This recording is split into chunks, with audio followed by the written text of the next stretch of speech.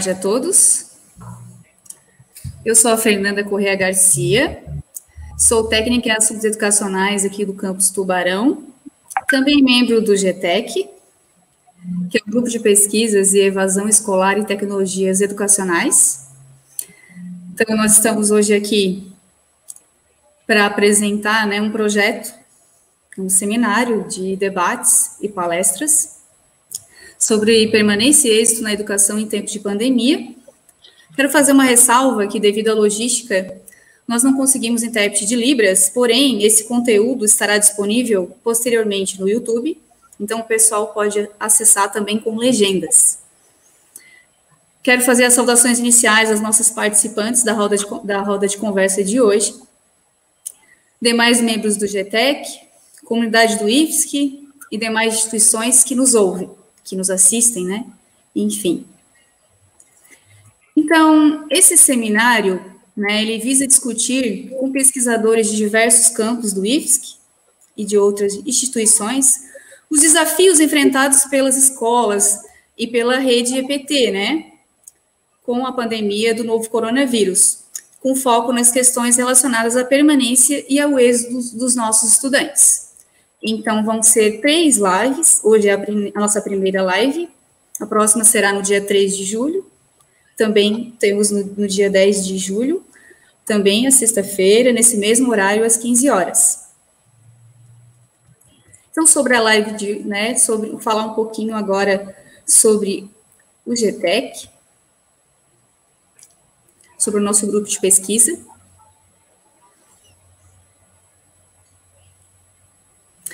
Então, é um grupo de pesquisas em evasão e tecnologias educacionais, com foco nessas duas vertentes. Temos os seguintes integrantes: Alexandra Joelma Zanin, do IFSC Joinville, Carlos Daniel Fuji, do IFSC Florianópolis, eu, Fernanda Correa Garcia, do IFSC Tubarão, Marcos Luiz Grams, do IFSC São José, Mari Silvia dos Santos, do Campus Criciúma, Sandra Lopes Guimarães, da Reitoria, e Sérgio Silveira, do Campus Criciúma. Então, um breve histórico aí do grupo de pesquisa, né? Ele surgiu como um núcleo de pesquisas. Então, é, que buscava, né, é, visar ações, projetos relacionados. Primeiramente surgiu o projeto de egressos, né, trabalhar com as questões dos, dos egressos dos cursos, né, do campus Criciúma, esse, esse núcleo surgiu no campus Criciúma, hoje já é intercampus, né, mas iniciou com os membros do campus Criciúma, também com esse projeto Portas Abertas, que é um projeto em que as escolas do ensino fundamental de Criciúma visitam o campus, após o grupo aplica questionários para verificar esse perfil dos visitantes, né, potenciais alunos, enfim.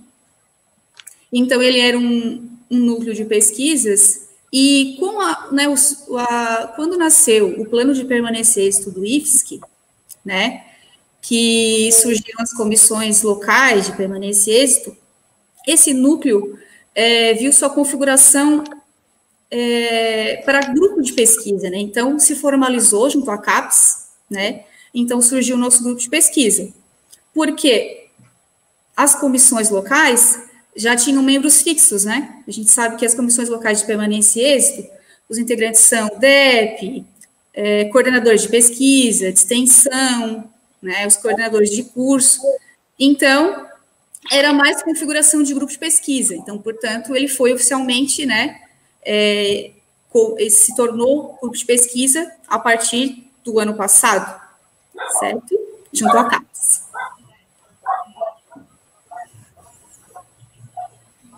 Lembrando que também nós temos parcerias com outros campos que não possuem membros ainda no grupo de pesquisa, mas, por exemplo, campus São Miguel do Oeste, a gente troca informações, né, materiais para reflexões, para os projetos também.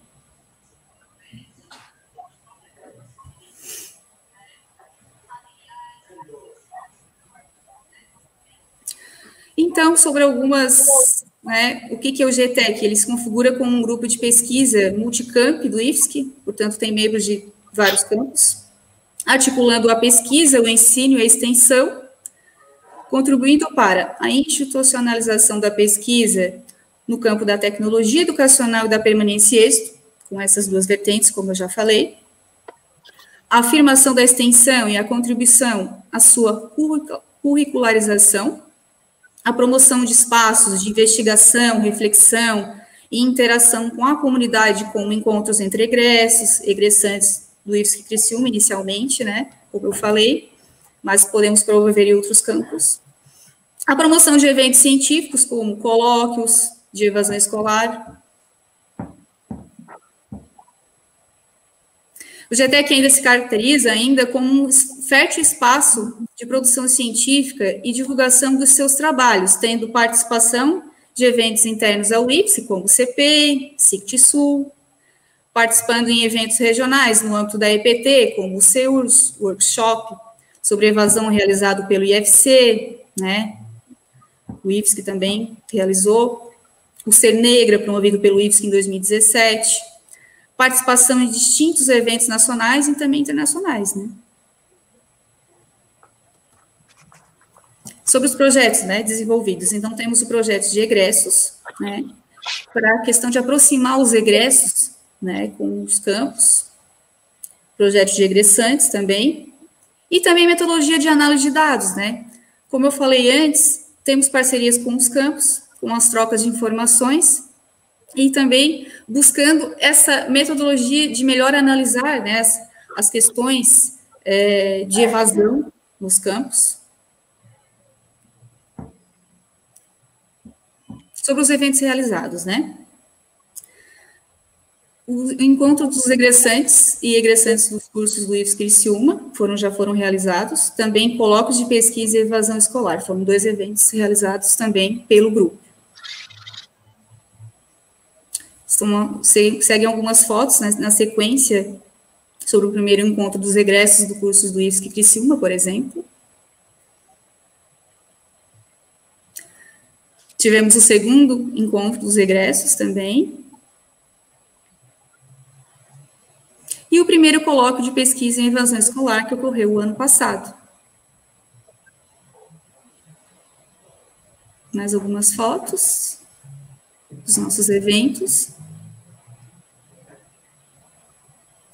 Segue alguns eventos que tivemos participação tanto em apresentações de projetos, né, como seminários, né, pelas imagens CP, CITISU, E os nossos projetos e, e eventos atuais, né, que estamos trabalhando. Projeto Edital Universal de Pesquisa 2020, temos o seguinte foco, né, nas perspectivas de centros capazes de contribuir com a permanência e êxito. Projeto bem bacana também, com as questões de contribuições, né, para a permanência e êxito. E esse seminário virtual, que é o nosso projeto atual, permanência e êxito na educação em tempos de pandemia, e também buscamos né, a continuidade dos projetos relaciona né, de relacionamento com os egressos, né, como o quarto encontro dos egressantes e egressos do Campo Criciúma, que pretendemos em breve né, lançar. Segue o contato do grupo, para quem quiser conhecer melhor o grupo, né, e obter mais informações.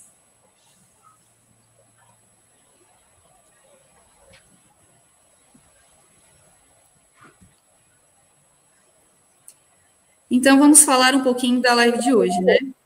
O tema principal da live de hoje, que é, seria a primeira da sequência das três lives que vão ocorrer, seria como as coordenadorias pedagógicas estão acompanhando a permanência escolar dos alunos durante a pandemia. Então, o objetivo dessa nossa conversa de hoje é compartilhar experiências das coordenadorias pedagógicas, né? Relação ao acompanhamento, ações, né? De apoio à permanência escolar durante o período de distanciamento social e educacional, né, que tanto está é, mudando os nossos conceitos enquanto educadores, enfim, e segue como um desafio, né, tanto para nós, que somos trabalhadores da EPT, como para os nossos estudantes.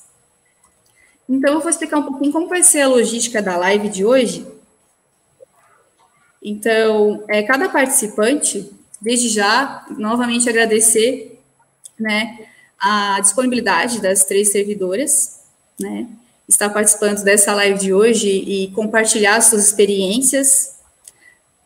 É, então, a logística será: cada participante terá 30 minutos né, para sua exposição das ações né, ou experiências. E um segundo bloco, né, depois das três participantes né, eles, é, expuserem seus, suas experiências, nós teremos 20 minutos para questionamentos. Então, vocês podem é, colocar os questionamentos diretamente no Facebook. E nós vamos priorizar por ordem, né? Temos 20 minutos somente, então, no máximo, quatro a cinco questionamentos. Vamos falar um pouquinho das nossas participantes de hoje. Seriam a Fernanda Dechessen, do campus Joinville. Ela possui graduação em Pedagogia com habilitação em Educação Infantil pela Universidade do Estado de Santa Catarina, UDESC, mestrado em Educação pela Univille e atua, atua como pedagoga no campus Joinville. Temos a Priscila Nunes, campus Urupema. Ela possui graduação em Pedagogia pelo Centro de Ensino Superior de Maringá. Atualmente é pedagoga. Atuou também no ensino fundamental como docente na rede municipal. E, posteriormente, dia, a partir do dia 1 de julho, irá assumir a coordenação pedagógica. Félix Cristina Zimmermann, possui graduação em Pedagogia, Supervisão Escolar pela Associação Catarinense de Ensino, mestrado em Educação pela, pela Faculdade Estadual de Filosofia, Ciências e Letras de Cornélio Procópio, especialização em Psicopedagogia e Gestão Escolar, supervisora educacional, orientadora pedagógica e docente. Também é pedagoga e supervisora de ensino no campus de Araguá do Sul. Eu passo a palavra agora para a nossa participante da roda de conversa, Fernanda Grechessen. É, boa tarde, pessoal. É, é, um prazer, né, poder estar tá participando, né, de uma atividade como essa. Gostaria de parabenizar também o GTEC pela iniciativa. Eu acho que a gente precisa é, de espaços como esse para compartilhar o nosso trabalho e para também discutir essas temáticas que são tão importantes. É, hoje eu venho é, não representando só a minha fala, eu venho representando é, a, a coordenadoria pedagógica, então, do Campo Joinville, são práticas que a gente vem atuando como equipe, né, então eu vou falar um pouquinho é, é, mais profundamente sobre um trabalho que a gente veio fazendo, né, sobre um projeto aí que a gente veio fazendo agora durante o isolamento social, porque quando a gente é, iniciou nessas atividades não presenciais, quando a gente começou o isolamento social, a gente observou assim que em termos qualitativos o nosso trabalho da coordenadoria pedagógica ele se viu muito prejudicado, né? Então, aquele acompanhamento que até então a gente fazia, de atendimento ao aluno, de chamar aluno, de conversar com os pais, né? Aquele envolvimento todo que a gente tinha, aquela proximidade, é, deixou de existir de uma hora para outra. Né? Então, quando a gente se afasta, né, é, desse ensino presencial, a gente também tomou uns Ainda mais que, enquanto coordenadoria pedagógica, isso fica mais difícil ainda, porque nós não temos é, um, um, perfil apropriado no CIGAR que permitisse a gente realizar um acompanhamento é, mais qualitativo, né? A gente não consegue acompanhar é, e verificar se o aluno está acessando as atividades, se ele não está, como que isso está acontecendo. Então, hoje, é, o acompanhamento, né, durante as atividades não presenciais, ele basicamente, ele vai é, se restringir quase que completo pelos, por e-mail. Então, a gente aguarda dos professores para que eles nos digam os alunos que, que precisa algum tipo ali de encaminhamento, que a gente precisa entrar em contato, mas esse contato com o aluno também fica bem deficitário, porque a gente também vai se comunicar com esse aluno por e-mail. Né? A gente tem é, experienciado isso, a gente tem enviado esses e-mails, mas nós temos uma baixa é, resposta dos alunos, né? Nem todos respondem, ou o endereço do e-mail está desatualizado, então a gente acaba tendo um problema bem grande aí. O WhatsApp, né, WhatsApp pessoal, nos casos é, que a gente entende que são mais críticos, que a gente precisa ter um contato, que a gente não, né, não tem como deixar, né, até porque tem uma questão legal de acompanhamento nossa, mas aí a gente tem uma invasão do nosso espaço pessoal também, né, então é, é complicado também. É, na instituição, nós já fizemos uma discussão, né, junto com a direção, sobre a, a possibilidade de um celular institucional, é, mas a gente ainda está na discussão, porque é, esse celular também ele acabaria ficando na responsabilidade de apenas um servidor e a gente também se preocupa com a sobrecarga de trabalho a esse profissional. É, então, diante de tudo isso, dessa dificuldade de acompanhamento da permanência dos estudantes né, nesse, nesse momento de isolamento social, é, logo lá no início é, das atividades não presenciais, a gente ficou pensando o que, que a gente poderia fazer, né? Para minimamente a gente conseguir acompanhar ou ter uma ideia é, de como que os estudantes estavam se organizando, como que eles estavam acompanhando essas atividades. E foi aí que surge a ideia de, de fazer uma pesquisa, né, com os alunos, né, é, para a gente tentar verificar como que estava o acesso dele às atividades não presenciais, né? Para compreender essa dinâmica de acesso, avaliar o acesso, como estava sendo, a realidade de estudo, é, identificar as dificuldades, é, identificar também questões esse de social, muitas vezes podem ter sido agravadas, e criar alternativas de comunicação com a coordenadoria pedagógica, que foi algo que a gente é, minimamente conseguiu fazer, conseguiu identificar alguns alunos na pesquisa para poder entrar em contato também. É, então, essa pesquisa, ela surge para isso, para a gente identificar, para a gente ter um panorama com o objetivo da gente ter um planejamento de ações futuras, né, da gente conseguir se planejar também e entender um pouquinho essa realidade. Então, essa pesquisa nós realizamos mais ou menos uns 20 dias depois do início do isolamento. Foi ali entre o dia 7 a 22 de abril que a gente aplicou com os estudantes. Né? A gente aplicou em todos os cursos do campus Joinville, desde o técnico até o superior. É, a gente elaborou, então, um questionário eletrônico no Google Docs, com 25 questões, entre abertas e fechadas, é, com dados objetivos, como curso, módulo, é, né, e também dados subjetivos, porque a gente também queria saber quais eram as dificuldades, os sentimentos vivenciados dos estudantes. É, a gente teve, dos 1.500 alunos matriculados, nós tivemos 501 respostas. A gente teve um terço, né, dos estudantes que acabaram respondendo essa pesquisa. A gente divulgou amplamente, né, mas a gente sabe que não chegou para todo mundo também. É, a maior participação, ela ocorreu em alguns cursos, né, como de enfermagem, que a gente teve uma é, um, um, percentual de respostas bem alto, e também nos cursos técnicos integrados. Mas a gente teve também baixa participação nos cursos concomitantes, né, que pouquíssimos alunos responderam. A gente teve um módulo que a gente não teve nenhuma resposta, né? É, e por isso que a gente entende que com essa pesquisa a, a, gente não atingiu a totalidade dos alunos, a gente ficou com quase é, com mil alunos, né, que acabaram não participando, e, e que provavelmente, né, a gente não pode afirmar isso, mas muitos deles podem não ter nenhum tipo de acesso né, aos meios eletrônicos, aos meios digitais, então eles não foram contemplados com a pesquisa. Então, por isso que a gente, é, a todo momento, quando a gente passou a divulgar a pesquisa, a conversar sobre a pesquisa, sobre os resultados, a gente sempre falou é, da necessidade é, de comparar esses dados com outros estudos também, né? Com, comparar com os números dos, dos estudantes que vêm respondendo às atividades docentes, para a gente ter um panorama que, se, que fosse mais é, fidedigno mesmo, né? Que a gente pudesse, pudesse identificar é, de uma maneira mais correta como que estava se desenhando esse acesso dos, dos estudantes às ANPs.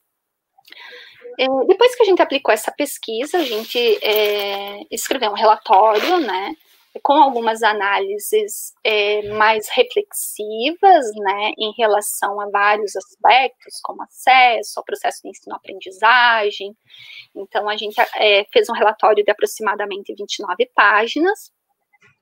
É, esse relatório nós divulgamos com todos os é, servidores é, do campus Joinville, eu acho que teve uma divulgação em outros grupos também, né, como de pedagogos, eu acho que o pessoal aí também já teve acesso a esse documento.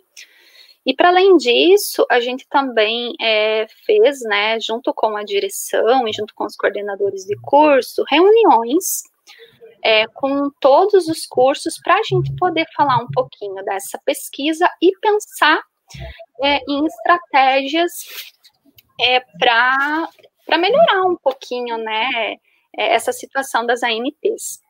É, eu vou confessar para vocês que essas reuniões, né, é, nem sempre elas tiveram assim um resultado que a gente esperava. A gente sempre projeta algo para além, né? A gente não teve todos os resultados que a gente queria, mas eu acredito que elas foram muito válidas porque iniciam uma reflexão, né? A gente para para pensar sobre isso é importante. É, daqui duas semanas também, é, a gente vai fazer, também junto com a direção, junto com os coordenadores de curso, reuniões por módulos. Daí sim a gente vai conseguir, né, a gente pretende conseguir identificar é, todos os estudantes, né? Quem está respondendo, quem não está, minimamente, como está como está acontecendo a aprendizagem desses estudantes. Então, a gente vê que com essa pesquisa, é, a gente conseguiu fazer reflexões importantes, não atingiu todos os objetivos que a gente queria, no sentido de propor, às vezes, uma reflexão é, mais robusta, mas de qualquer forma, a gente sabe que inicia uma reflexão, a gente para para pensar, e isso sempre é importante. É, eu vou falar um pouquinho agora sobre os dados, né, que talvez sejam a realidade dos outros campos também, né, sobre os dados dessa pesquisa. Claro que eu vou falar de uma maneira assim não tão aprofundada, porque é muita coisa. É, também a gente não tem todo esse tempo, mas só para situá-los mais ou menos de como foram as respostas desses estudantes e para também fomentar um pouquinho a discussão depois, né? Então, sobre o acesso dos estudantes em relação a essa pesquisa, é, nós identificamos é, desses estudantes que responderam, sempre lembrando que são 500, mais de 90% disse que sim, olha, eu estou conseguindo acessar os materiais, né, eu estou conseguindo ter acesso. Mas a gente verificou que esse acesso não é, não é tudo aquilo, né? Por quê? Porque tem alunos é, que não têm um computador adequado, ou que precisam dividir equipamentos, ou que utilizam apenas o aparelho celular, né? Então a gente tem um número grande de estudantes que diz, olha, eu só consigo acessar pelo celular, não consigo acessar por outro lugar, né? E também um, um, número ainda maior de estudantes que tenha, é, utilizam a internet móvel, 3G e 4G. A gente sabe que ali o celular vai ter uma, uma, série de problemas, eles não vão conseguir anexar arquivos, baixar, é, é, ba, é, baixar documentos, enfim, isso acaba prejudicando o processo de ensino-aprendizagem deles. Então, a gente evidenciou nesse estudo que é uma realidade bem diversa, né? Tem alunos que têm é, uma condição bem adequada para estudar, mas tem aqueles que não têm. E lembrando que muitos é, não foram contemplados na pesquisa. Então, essa realidade ela pode ser bem maior e pode ser muito mais preocupante. É, a gente sabe também. Oi? É, a, é, a, gente sabe que essa heterogeneidade, né, ela, ela se faz presente na educação, só que a gente vê que isso está bem intensificado agora, né, é, uhum. essa desigualdade, ela parece bem é, forte nessa questão dos acessos, e isso pode ser um fator excludente, né, e se a gente for pensar que a gente tem alunos com dificuldades de aprendizagem, com transtorno de déficit de atenção, o público-alvo da da educação especial e os vulneráveis sociais, isso pode ser ainda mais excludente ainda. Né? A gente tem até, em relação aos vulneráveis sociais, uma normativa do auxílio internet, né? Mas a gente vê que, por mais que se tenha uma boa intenção com essa normativa, ainda assim ela acaba sendo excludente, porque, por exemplo, quem não tem IVS não pode acessar. Ou quem, ou quem tem uma internet, por exemplo, uma internet móvel, 3G, 4G, já tem algum tipo de internet, então também não pode acessar. Né? Então, acaba sendo um fator excludente também, né? É, isso tudo exige que a gente pense em estratégias, né, de como trabalhar com essa realidade. É, e, é um desafio para a gente, enquanto coordenadoria pedagógica, e um desafio para os docentes também. É, em relação é, ao processo de ensino-aprendizagem, que foi outro, outra categoria de análise da nossa pesquisa, é, a gente também questionou os alunos como que estava se dando esse processo interativo com os docentes, se estava tudo certo, se eles estavam conseguindo se comunicar.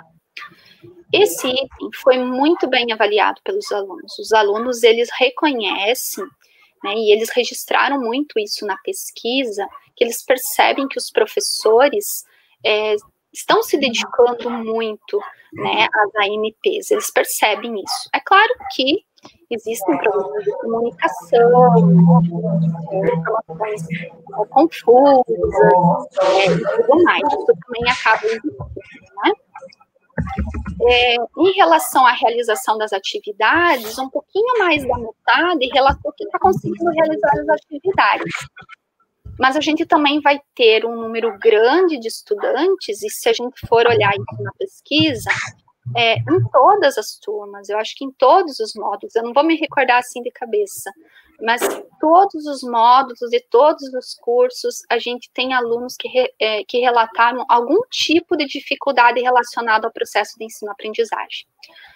O que apareceu muito forte nessa pesquisa né, como uma dificuldade foi a, a, necessidade de reorganização da rotina diária. A gente já está vendo isso, né? a gente já teve, enquanto servidor, essa necessidade de reorganização da rotina. Então, isso também aparece é, na pesquisa é, com os alunos, né, nessa necessidade de reorganização da rotina diária, da dinâmica familiar e também de estudo. É, isso fica muito forte nas falas do ensino superior, né, que são estudantes trabalhadores, é, e alunos do período noturno também. Né, isso também acaba sendo problemática, porque, por exemplo, os alunos do curso técnico concomitante, é, esses alunos eles têm uma reorganização de uma rotina de estudos ainda maior, né? Porque além de dar conta é, das ANPs do IFES, que eles precisam provavelmente dar conta das ANPs do ensino médio, né, que eles fazem em outras escolas. É, a gente, na pesquisa, sinalizou muito isso no nosso relatório. É, falou também, né, que isso não é restrito somente aos estudantes trabalhadores, isso também é uma realidade dos estudantes ali do ensino médio, e isso foi sendo é, confirmado ao longo do tempo, né? Porque nos nossos atendimentos, a gente já viu, assim, alguns estudantes que hoje têm muita dificuldade para conseguir acompanhar as aulas, porque tiveram que assumir tarefas que até então não faziam, né? A gente tem estudante que acaba assumindo o cuidado dos irmãos, porque esses irmãos também não estão na escola, então isso acaba sendo um dificultador bem grande para conseguir acompanhar as ANPs. Além dessa dificuldade que apareceu muito forte, a gente vai ter outras, né, como o, a dificuldade de entender os conteúdos, né, principalmente os conteúdos novos, das áreas exatas, é, dificuldade para relacionar teoria e prática, é, muitas vezes excesso de atividades, datas próximas para entrega de trabalhos, ou limitação na utilização de recursos didáticos pelos docentes, né, então muita utilização de slide, de textos em detrimento de videoaulas, que na visão dos alunos são mais exitosas, né, eles compreendem melhor, só que a gente sabe que prof professor também é muito mais trabalhoso fazer uma videoaula, a gente compreende isso também, e problemas é, mais de cunho pessoal, né, que é organização do tempo, disciplina, iniciativa, motivação, foco, é, motivação. É, a gente entende, né, enquanto coordenadoria pedagógica, a gente já fez várias discussões em relação às ANP, em relação às ANPs, e a gente entende que trata-se sim de um momento que é diferente, que é excepcional, né, a gente nunca tinha passado por isso, a gente se vê nessa necessidade é, de criar alternativas mesmo para trabalhar, né, nesse momento.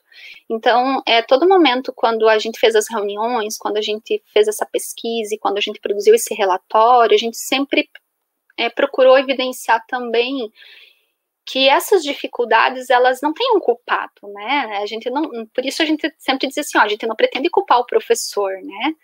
Porque a gente sabe que também foi um momento difícil, professor, é um momento difícil de, de adaptação também, né, para todo mundo, né, e, e, quando a gente faz esse relatório, a gente busca é, exatamente isso, possibilitar uma reflexão para a gente poder pensar o que, que a gente pode fazer para minimizar um pouquinho esses impactos negativos, né? Então, nessas reuniões que a gente fez com os docentes e com a coordenação do curso, a gente sempre falou é, em algumas ações que poderiam minimizar, que poderiam garantir aí algo, é, algo mais adequado às NPs, como o planejamento coletivo, a integração das disciplinas, né, a atualização dos planos de ensino, né, que isso é, não tem como a gente reproduzir aquilo que reproduzia no presencial agora, e essa utilização de ferramentas didáticas variadas, né, como, por exemplo, os é, como, por exemplo, a, as videoaulas, que ajudam bastante, mas que a gente sabe que é muito trabalhosa para os professores também, além desse contato frequente com os estudantes. Até hoje a gente teve uma reunião com os, com, com os adolescentes do oitavo módulo, e a gente vê como que é importante esse contato, né, com eles, de saber, de se colocar no lugar do outro, de explicar o que está acontecendo. Então, esse contato frequente, ele é muito importante também. É, outro ponto que a gente discutiu no relatório como categoria é, foram sobre sentimentos vivenciados.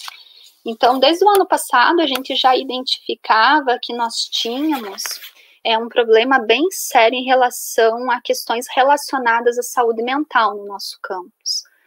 A, a gente se viu, assim, é, numa demanda cada vez mais alta, né, e a gente tendo que lidar com isso, é, agora a gente está com a perspectiva de ter um psicólogo, né? A gente está com o edital de remoção aberto, mas até então a gente não tinha, então isso para a gente era um pouco difícil. E a gente ficou preocupado é, agora nessa pesquisa em saber assim, olha, como que vocês estão se sentindo? Né? Porque a gente sabe que a, pandemia acaba trazendo uma série de sentimentos que muitas vezes não são legais, né? Então a gente perguntou, olha, como que vocês estão se sentindo agora em relação às NPs, em relação a tudo isso?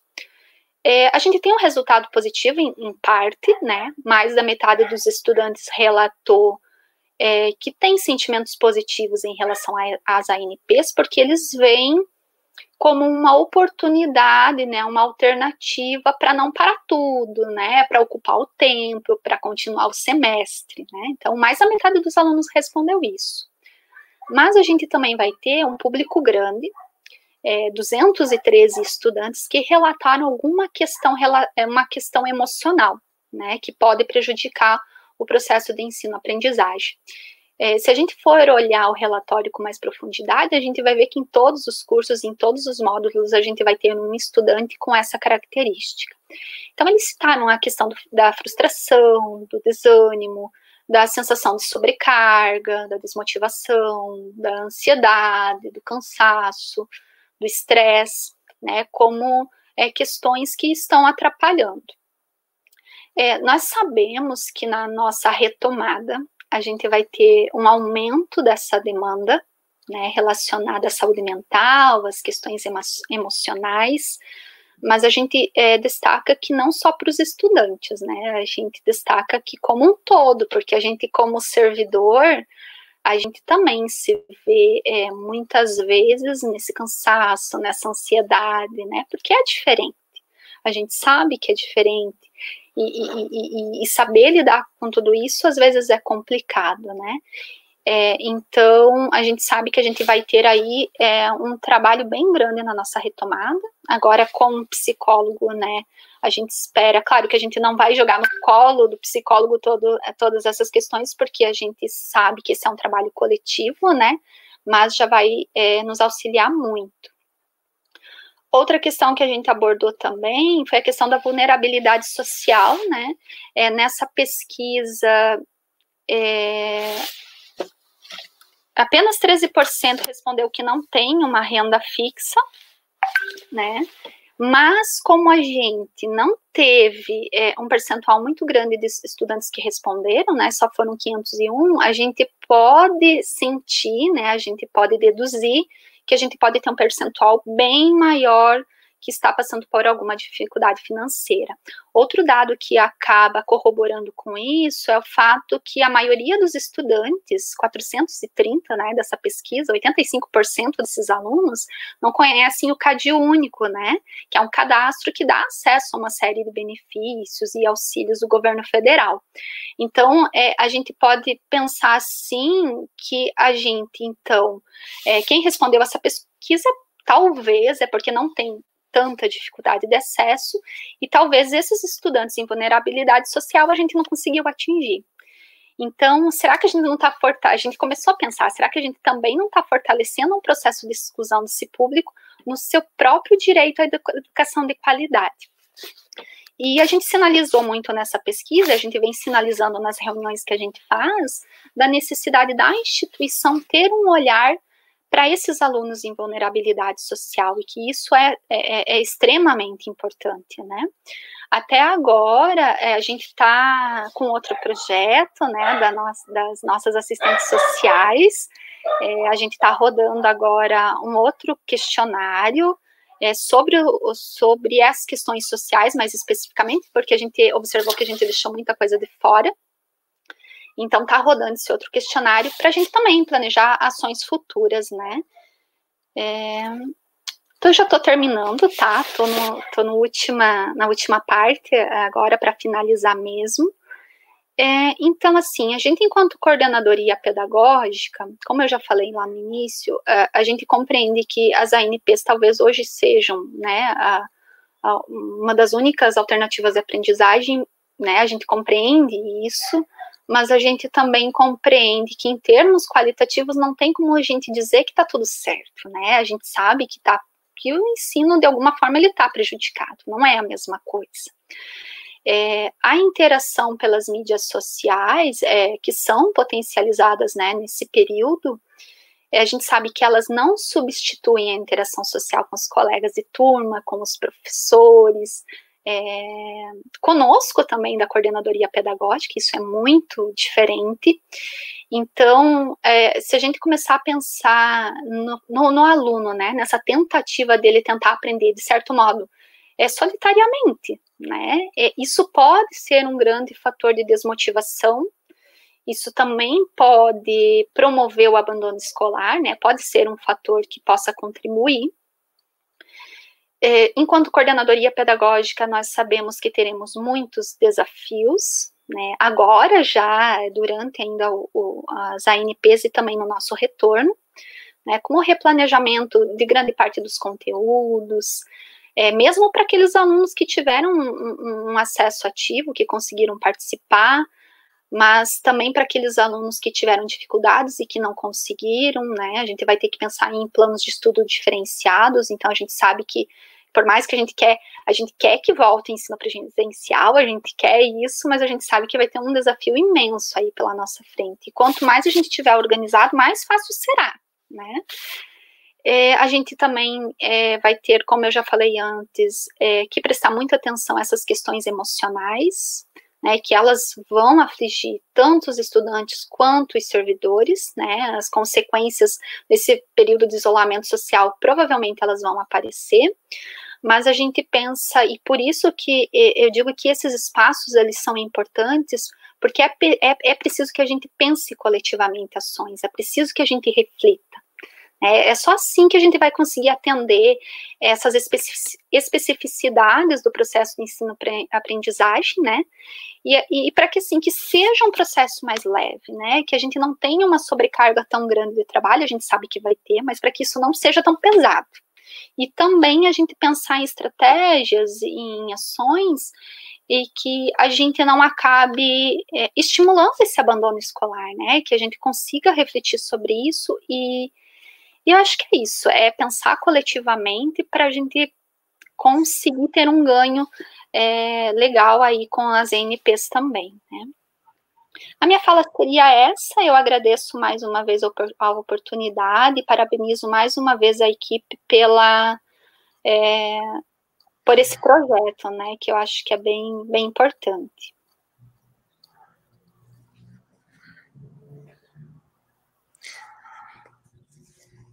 Bom, posso começar então? Oi, gente, tudo bem? Eu sou a Kelly, coordenadora pedagógica, coordenadora não, trabalho na coordenadoria pedagógica do campus Jaraguá do Sul. Hoje estou representando aqui uh, o meu grupo, né, o grupo da coordenadoria pedagógica de Jaraguá do Sul Centro. Atualmente estou no DAI, mas não deixei a coordenadoria, não deixei de atuar na coordenadoria pedagógica. Era coordenadora até abril, Hoje é a Juliana que assumiu, a nossa psicóloga, está fazendo excelente trabalho também, com vários desafios que tem ah, agora, nesse momento, né, em frente a essa crise que nós estamos passando. Antes de iniciar minha fala e falar sobre as nossas ações é, no campus de Araguá do Sul, eu gostaria de fazer um resgate um pouquinho sobre o acesso, a permanência e o êxito, que é algo que a gente fica lutando desde que temos é, essa é, a, a, questão da entrada dos nossos estudantes no, na, na, escola, no campus, né? Então, é, se a gente buscar e resgatar é, as questões é, relacionadas ao Plano Nacional de Educação, por exemplo, né, que uma das metas é elevar a escolaridade aos estudantes, inclusive no ensino profissionalizante, nós temos um desafio muito grande. E esse desafio vai além, inclusive, da, da pandemia, né? Então, nós temos aí esse desafio de como colocar os nossos estudantes é, em sala de aula e ficar, fazer com que eles permaneçam e, e tenham êxito né, na, aprendizagem. E isso, IFSC, né, nós como rede, atuamos diariamente com isso, sabemos disso, a gente sabe, né? O Campus de Araguá do Sul não é diferente. A gente, vários momentos, nós uh, temos ações é, diárias em relação a isso, né? É, e vamos sempre trabalhando em conjunto. Uma das coisas, uma das, uma das características do nosso campus, né, do campus de do Sul, é a, o trabalho que a gente faz de, de equipe, né, de grupo. Então, o nosso grupo hoje, nós estamos em nove componentes, dez componentes, a Fernanda veio para nos ajudar agora também, a Fernanda veio do campus, do IFC, campus Araquari, é, e hoje a gente tem uma equipe grande até, né, perto de alguns campos que não tem essa equipe, a gente tem uma formação, mas foi, foi, foi fruto de muita luta, né, para a gente chegar hoje a, a, esse, é, a fazer esse trabalho. Eu trabalho no campus de Araguá do Sul, como coordenadoria pedagógica, nunca é sozinho, sempre é junto com os coordenadores acadêmicos, junto com os professores, né, nós sempre trabalhamos muito em equipe. É, no dia 16 de março, quando a gente soube, né, isso foi no dia 15, antes no domingo, quando soubemos que não iria, que iria para as, as aulas, que, enfim, foi aquele movimento todo enorme que nós passamos naquele momento, né? Dia 16 de março, quando a gente chegou no campus, o que vamos fazer? Nós somos muito de discutir as questões ali, apagar incêndio nesses momentos, né? Que ações que nós vamos fazer? E aí o grupo, né, nós nos reunimos e não deu tempo para fechar nada, a gente saiu na, no dia 17, a partir dali não nos encontramos, ficamos uma semana sem, inclusive, sem saber como a gente ia agir, como nós, como coordenadoria pedagógica, poderíamos estar agindo, Pensamos até, eu lembro que nós até conversamos que poderia ser uma coisa passageira, né? Uma coisa não. Isso no final do mês a gente volta, então já resgatamos e estamos aí, né? Entrando no quarto mês já é, de, de, isolamento social e provavelmente nós vamos por um bom tempo, né, com as nossas ANPs. Então, algumas ações, a partir dali, uma semana depois, o grupo se reuniu, nós como coordenadoria pedagógica, que isso é constante, nós fizemos reuniões toda semana, né, e a gente se reuniu para traçar algumas ações. Ações, inclusive, junto com os professores, porque eles também estavam bem perdidos, né? O ensino, nós estávamos passando por transição, inclusive, de gestão, como é que ia ficar, né? Estamos ainda passando por essas transições, e aí a gente começou a criar algumas ações, né? E dentro dessas ações a gente teve aí, né? O grupo ficou primeiro pensar, vamos nos reunir e vamos traçar junto com o ensino, junto com os coordenadores de curso, trazê-los para perto para que a gente possa estar tá fazendo um trabalho aí em conjunto, né? E aí a gente começou. É, é, aqui no campus a gente divide, o nosso trabalho é dividido por curso, então cada pedagoga é, é, orienta, é, trabalha com um curso, né? Trabalha com um ou mais cursos e é a pedagoga responsável por, por aquele grupo. E, e, o grupo, né? Psicóloga, assistente social, é, os, os, os técnicos em assuntos educacionais, né? que temos a Janete, a Gi, nesse momento, é, os, os, os, os, o Anderson, né, e a, e a Ana, que são os nossos, ah, que nos acompanham com os nossos estudantes, né? Enfim, nós temos todo o grupo, e aí a gente sentou e discutimos como é que nós íamos fazer a partir de agora. Já que nós temos a orientadora responsável, essa orientadora, então, entrou em contato, né, com os coordenadores, e ali a gente começou a trabalhar, então, em, com reuniões, né, é, usando as ferramentas é, digitais, como a gente está usando agora, e a gente começou a fazer, então, várias ações. Dentre delas, a gente destaca algumas, né, que a gente fez, é, primeiro, nós somos o grupo, né? Sempre foi muito de conversar com os estudantes. Então, assim, é, eu trabalho com o ensino médio, então uma das é, o, o, que mais a gente faz é trabalhar com os pais dos estudantes. E aí a gente viu a necessidade de entrar em contato com esses, com esses pais, né? Então nós temos, é, é a Fernanda até colocou ali que não, ainda não tem o telefone da, da, coordenadoria pedagógica institucional, né? Nós temos esse telefone, isso nos ajuda bastante, porque nós temos direto a fala com líderes de turma, com os estudantes, né? Com os grupos que não têm isso, e temos também o, os pais, né? Então, assim, quando é integrado é, é com os pais que a gente conversa, muitas vezes são com os pais. É, só relatando que o Campus Jaraguá do Sul tem uma diversidade grande de cursos, né? Nós temos dois integrados, de modelagem e química, temos a licenciatura em física, temos o ProEja, temos os nossos cursos subsequentes, que é vestuário e têxtil, e temos o tecnólogo que é em moda. Então, assim, é uma diversidade muito grande. E como atingir é, grupos, né, principalmente na o Proeja, é, porque o adolescente, ele, ele, ele consegue mexer na, na, na, na, ferramenta, ele vai, ele busca, né? Apesar que a gente sabe que tem aí é, uma quantidade de estudantes que não conseguem, é, que não tem computador, ou que a internet é muito lenta, né? Ou usa só o 3G, e realmente aqui na nossa região é bem complexo, né? A, a, a internet. Enfim, temos também essa dificuldade, mas a gente estava preocupado com o adulto e principalmente os cursos de primeira fase, né? Que aí a questão da, perma, da, da, da, permanência é complexa, né? Nós temos dois cursos superiores, que a maioria é SISU e veio, a maioria não, são do SISU, e a maioria veio de, de outros lados, né? Então, nós temos aí São Paulo, Rio de Janeiro, Brasília, estudantes que vieram estudar com a gente. E como resgatar estudantes e trazer de volta, né? Então, é, em conjunto com os coordenadores, é o curso de moda é um exemplo que em nenhum momento hesitou de chamar estudantes, então o grupo todo é, se envolveu de professores, junto com a coordena, junto com a orientadora, que é a Virgínia no momento, e toda a equipe nossa pedagógica, para fazer um trabalho de resgate com esses, com esses estudantes, né? Porque aí a gente tem um problema sério. É, esses estudantes nem passaram, não foi nem homologado o, o PAEVS deles, né, assistência estudantil. Então, eles não tinham nem como ficar no, uh, na cidade e continuar com as suas atividades. Então, muitos voltaram para casa, mas, assim, nós temos a, a, a, feliz notícia que eles continuam com a gente, né? Eles continuam, claro, preocupados, porque não sabem como é que vão ficar, como é que vai ficar a situação, né? Todos nós estamos nessa situação. O curso de licenciatura em física que nós temos, ele suspendeu, né? Então foi suspenso é, o calendário, né, as aulas, as atividades, a, não as atividades não presenciais, as NPs, e agora ele está retornando essa semana. Né? É, o grupo resolveu voltar, por quê?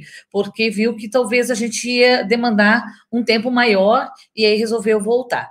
É, esse resgate do grupo é também importante destacar que a gente entrou sempre em contato com esses estudantes, né? Então, como é que a gente entra em contato com os nossos estudantes? WhatsApp, telefone, Então, assim, é, eu vou, né? Eu, como eu estou na gestão agora, eu consigo ir até o campus uma vez por semana. Então, na medida do possível que é passado para nós, né? Os, os professores passam, é, os, os estudantes que não estão participando, que não estão fazendo, nós já entramos em contato com os pais, né? E com os estudantes. No, no ensino uh, subsequente é mais complexo, né? Então, há professores que estão fazendo já é, as atividades, já, já né, fazendo suas atividades e já entram em contato com esse estudante e ou então ele passa para nós esses contatos, né? Então, assim, o contato telefônico é, ficou muito rápido para nós, né? Ficou o WhatsApp, o que a gente usa mais, e aí, é claro, né? Até a Fernanda colocou, a gente pode estar. Tá, é, é, a pessoa está responsável, deixando alguém, essa pessoa até está com uma carga né, maior de trabalho. Realmente, a Janete está com o telefone e ela tem, tem dias que ela comenta que é o dia todo só o telefone que, né, que ela tem que responder. Então, assim, mas foi, foram estratégias que a gente não quis perder, né? Então, o que, que o, as ações que mais a gente faz é, é esse contato. É, o professor tem as suas aulas, muitos dos nossos professores tem aulas sim, né? E aí, muitos de nós acompanham essas aulas, nós já tivemos, né? Quando não sou eu, é outra, é, são as demais orientadoras, e a Ju, que é nossa psicóloga, acompanha em alguns momentos, e os próprios professores pedem que nós acompanhamos para que a gente possa estar conversando com os estudantes. Outra ação que a gente também está fazendo é conversa com as turmas. Então, é, os coordenadores, isso está sendo qua, quase constante, gente. Assim, é, cada 15 dias a gente vai conversando com as mesmas turmas, para não perder esse vínculo, para a gente não esquecer. Eles vão notar que a gente esqueceu deles, né? Porque esse contato de estar perto, é, é, a necessidade, eles têm essa necessidade de estar perto da gente. E aí a gente faz esse encontro também com as turmas, né?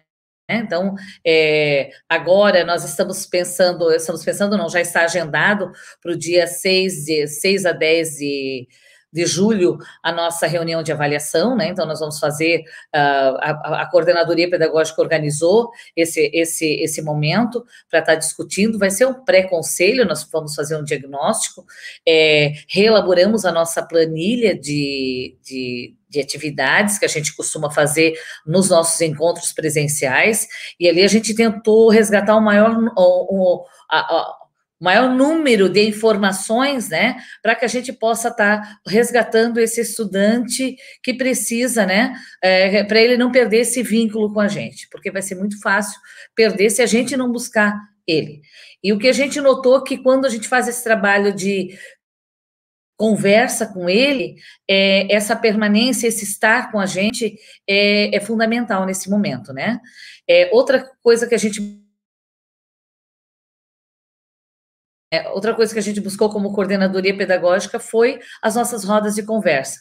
Então, a, a nossa psicóloga, né, Juliana, ela faz esse trabalho quase constante também, né, de, de trazer. No, no início eram poucas pouco, né, poucos participantes, poucos estudantes que participavam, e hoje a gente já tem um número bem maior. Então, assim, essa busca, esse contato com eles, né, e ela deixa muito aberto, e nós também, como uh, como pedagogas, né? É esse buscar, né? Então, assim, uh, o estudante está com alguma dificuldade ou com uma ansiedade, o pai entra em contato, a mãe, a gente já busca com a Ju essa possibilidade de atendimento, né? Virtual que ela faz. É claro que não é, é não é o presencial, tem todo também uma ética profissional que também não pode, né? Mas ela, o que ela pode estar tá trabalhando com esse estudante também nos ajuda bastante. Outra coisa que a gente também está tá trazendo com eles, que a gente sente a necessidade, é estar perto do, do da assistência estudantil, né? E aí eu faço, uh, né, eu, fico preocupada, faço até uma crítica em relação ao nosso, ao, ao, ao, ao Instituto, né? A questão de como a gente, nós temos que discutir mais sobre assistência estudantil, principalmente para esses estudantes que entraram agora esse ano, que a gente não conseguiu homologar. Né? Então, assim, gente, né, o a DAI, CEPROEM, temos que sentar e discutir essa, essa questão relacionada a, a, ao PAEVS desses nossos estudantes, porque ali realmente vai ser, a evasão vai ser grande, né? Se a gente não conseguir com que os nossos estudantes tenham um auxílio necessário, eles vão, eles vão para o mundo do trabalho, eles vão para o mercado mesmo de trabalho, eles vão buscar trabalho e eles vão sair, eles vão evadir. Eu acho que aí a gente vai ter que pensar como é que a gente faz os resgates, principalmente das primeiras fases, né? Proeja, é, a Fernanda também colocou do CAD único, nossos estudantes também, muitos não têm acesso a essa informação. O que a gente pode passar, nós vamos passando para eles, mas as informações sempre às vezes ficam um pouco truncadas, né?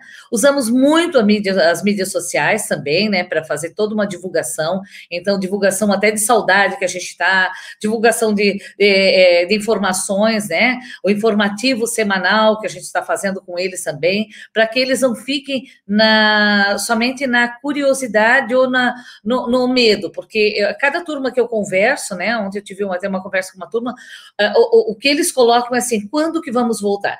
Mas é uma resposta que nós não temos, né? Então, assim, o deixá-los mais tranquilos possível é o nosso trabalho, né? O nosso, o nosso empenho. É, reuniões com os cursos, né? Diariamente, cada vez, a cada 15 dias ou a cada semana, cada curso está se reunindo e nós, a Pedagógico, nos reunimos juntos, né? Então, ali a gente já faz o levantamento, é quase um diagnóstico constante que a gente tem. E aí, de novo, é, eu coloco assim: a participação nossa com os coordenadores acadêmicos e com os professores tem que ser é, constante, né? A gente tem que, como equipe, pensar muito nessa, uh, nessa dinâmica de estar junto com eles, né? Fernanda trouxe ali a questão, inclusive, da saúde, da saúde mental dos nossos estudantes e eu coloco também dos nossos profissionais, né? Porque nós estamos, nós temos que lidar com isso. Como nós vamos lidar com essa é, essa, é, a, a, essa falta né, de, de, de, estar próximo ao outro, né? Outra questão que a gente também coloca, que a gente trabalha, é a questão. Estou acompanhando aqui também nas minhas folhinhas, eu sou ainda da folhinha, né? Não consigo fazer ainda digital, mas eu vou no, na folhinha, né? Uma das coisas que a gente é, consegue são a, as parcerias, inclusive com o ensino, e, e, entre nós, nós somos muito parceiros, né? Então, assim, é, para criar, por exemplo, uma planilha, então todas nós nos envolvemos, né? Eu não pude fazer agora, a outra fez, e assim a gente vai fazendo para que todas nós possamos estar juntos. Então, assim, é uma das coisas que mais, uh, das nossas ações que mais acertam são as nossas reuniões, e dentro dessas reuniões a gente consegue criar várias ações é, para os nossos estudantes. E aí sim, né, a gente pensar na nossa permanência, né? É, os professores também, né? A gente tem que pensar um pouquinho. Eu sou supervisora escolar, né? E, e me preocupa um pouquinho também como a gente é, vai passar uma, uma energia positiva para os nossos professores, que eles estão à frente, né, do trabalho. E se eles lá no, nas aulas deles, né, não entrar em contato com os estudantes, não ter as suas aulas síncronas, mas é, não manter essas aulas ou não, não, não enviar atividades, não ter nenhum contato, esse estudante ele vai se evadir. Então, assim, trabalharmos direto com esse professor é fundamental. E aí é papel nosso da coordenadoria pedagógica. Vejo que é importante nós, como pedagogas ou como grupo, estar bem próximo a esses professores, né? E, e, e o, o, no, no, todo, né, estar próximo, inclusive, da saúde mental deles, né, porque para eles também está puxado. Eles saíram de uma realidade de quadro, de quadro, sala de aula, para aulas síncronas, né? E a gente sente falta disso, a gente sente falta de, de ver gente, de estar com gente, né? E a gente agora só consegue ver isso através da tela. E para os professores, até para eles se adaptarem nesse novo processo, também é, foi bem complexo. Então, cuidar da saúde mental deles também é importante. É, os recados que a gente passa também, eu acho que né, depois do contato que a gente faz com os estudantes, a gente passa, deixa recadinho para eles, é importante que esses recados tenham, e, e, trabalhar né, dessa forma com eles. O Proeja nos preocupa bastante, né? O Proeja, porque eles têm atividades e eles não conseguem também fazer essas atividades somente online, né? É, ou, ou, até uma das nossas discussões é, é como trazer ações, né, que a gente traz muito a conversa com os nossos estudantes são com os adultos, né? Porque o adulto é fácil, é mais fácil evadir. O adolescente, claro, as fases finais, que são bem preocupadas, porque para eles, eles vão para né? Ah, a gente faz um ano numa escola, é, numa educação, na escola pública normal e não fizemos o técnico e vamos seguir adiante. Então, assim, o como resgatar esse estudante é um desafio grande, né? E aí fica, né, a, a questão da, da, da de novos modelos, né? E eu vejo que a pandemia ela trouxe, né? Ela nos trouxe aí, nos questiona os nossos modelos, os nossos antigos modelos de educação, de escola, de sociedade, né? Porque mudou tudo, né? Mudou para a família, né? A família hoje, ela está em casa, muitos conseguem acompanhar os nossos estudantes, muitos não conseguem acompanhar os nossos estudantes.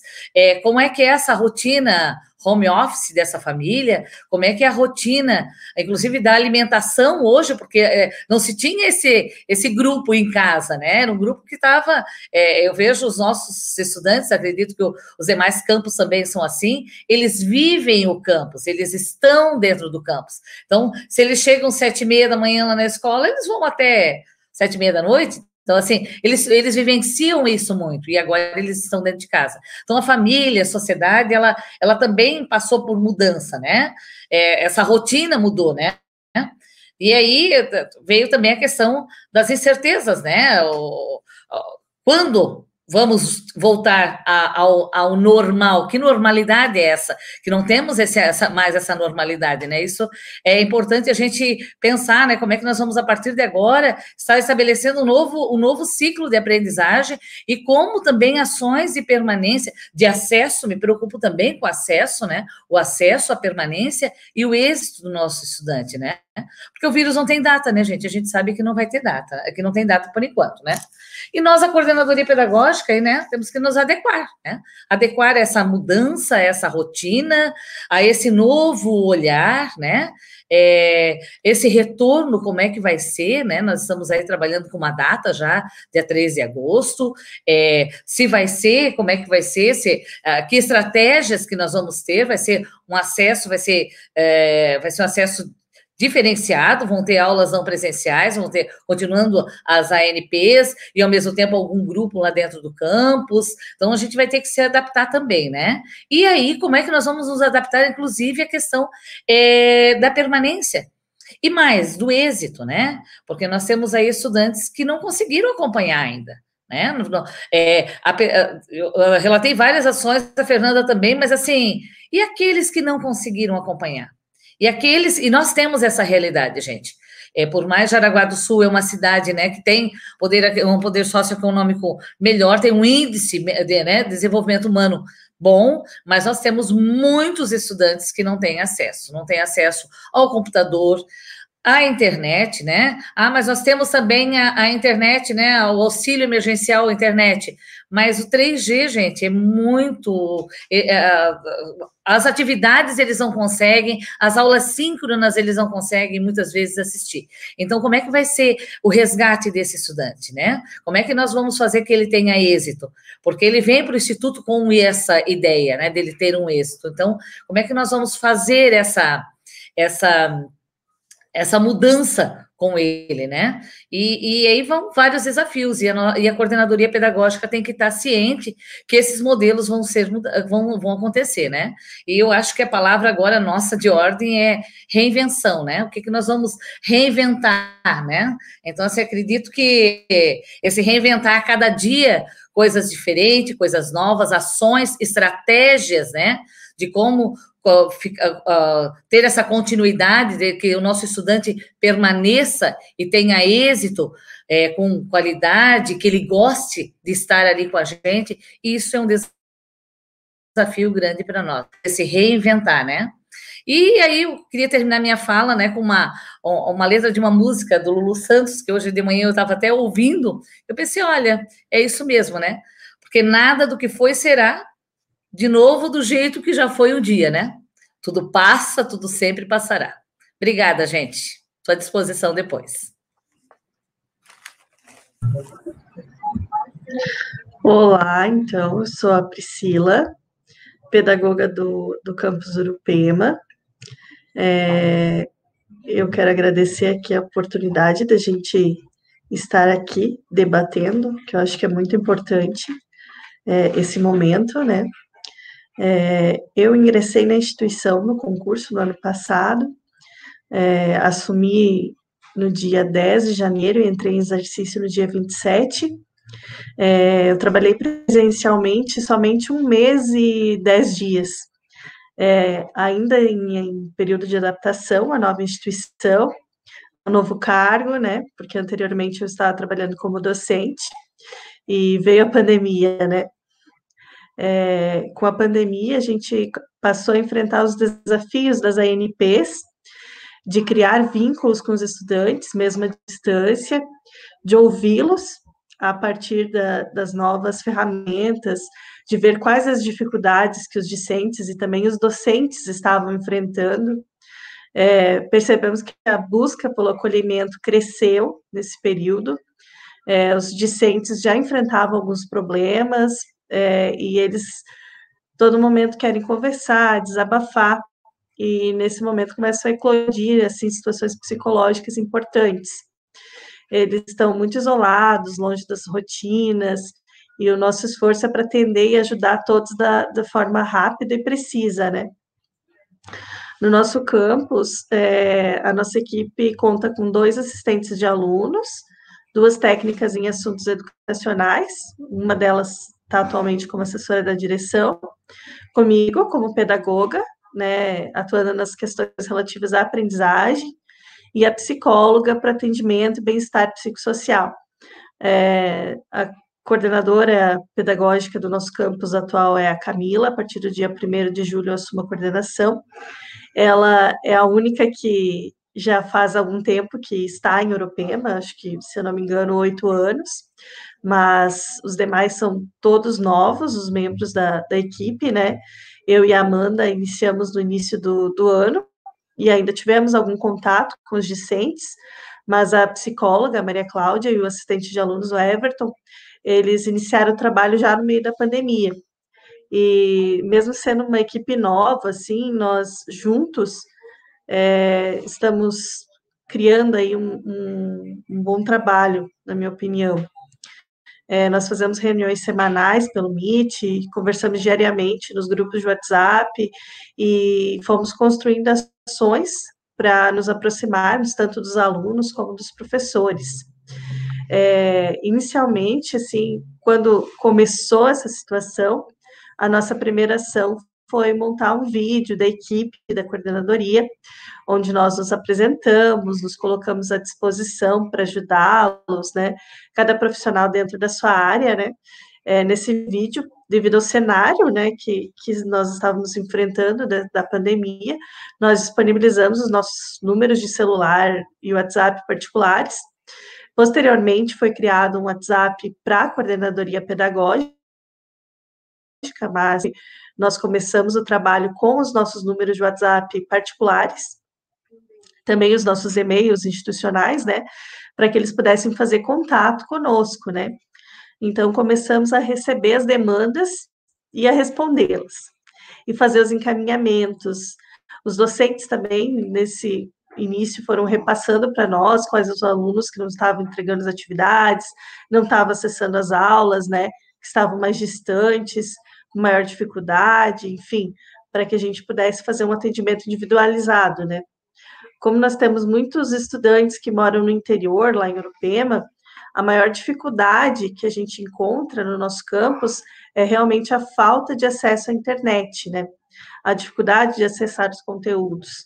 Nós tínhamos alguns alunos que eles não possuíam celular, computador, então a coordenadoria pedagógica tentou fazer as, facilitar o máximo possível, disponibilizar notebooks, do campus para esses alunos, é, emprestar mesmo para alguns que a gente percebeu que não teria como mesmo é, eles continuarem com esse tipo de acesso, né?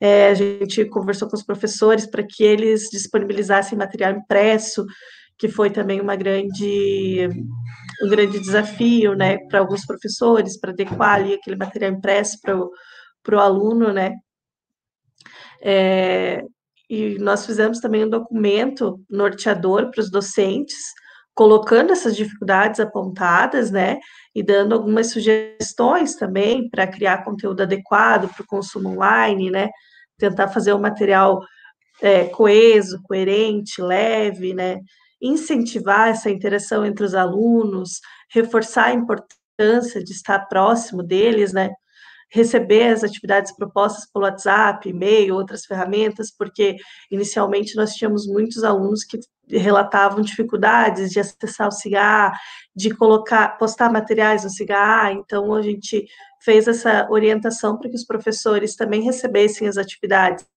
por e-mail, por WhatsApp, do, de, por áudio, por vídeo, tentar receber as atividades de, de maneiras diversas, né, para facilitar para eles e, e, tornar uma coisa também mais, mais dinâmica, né?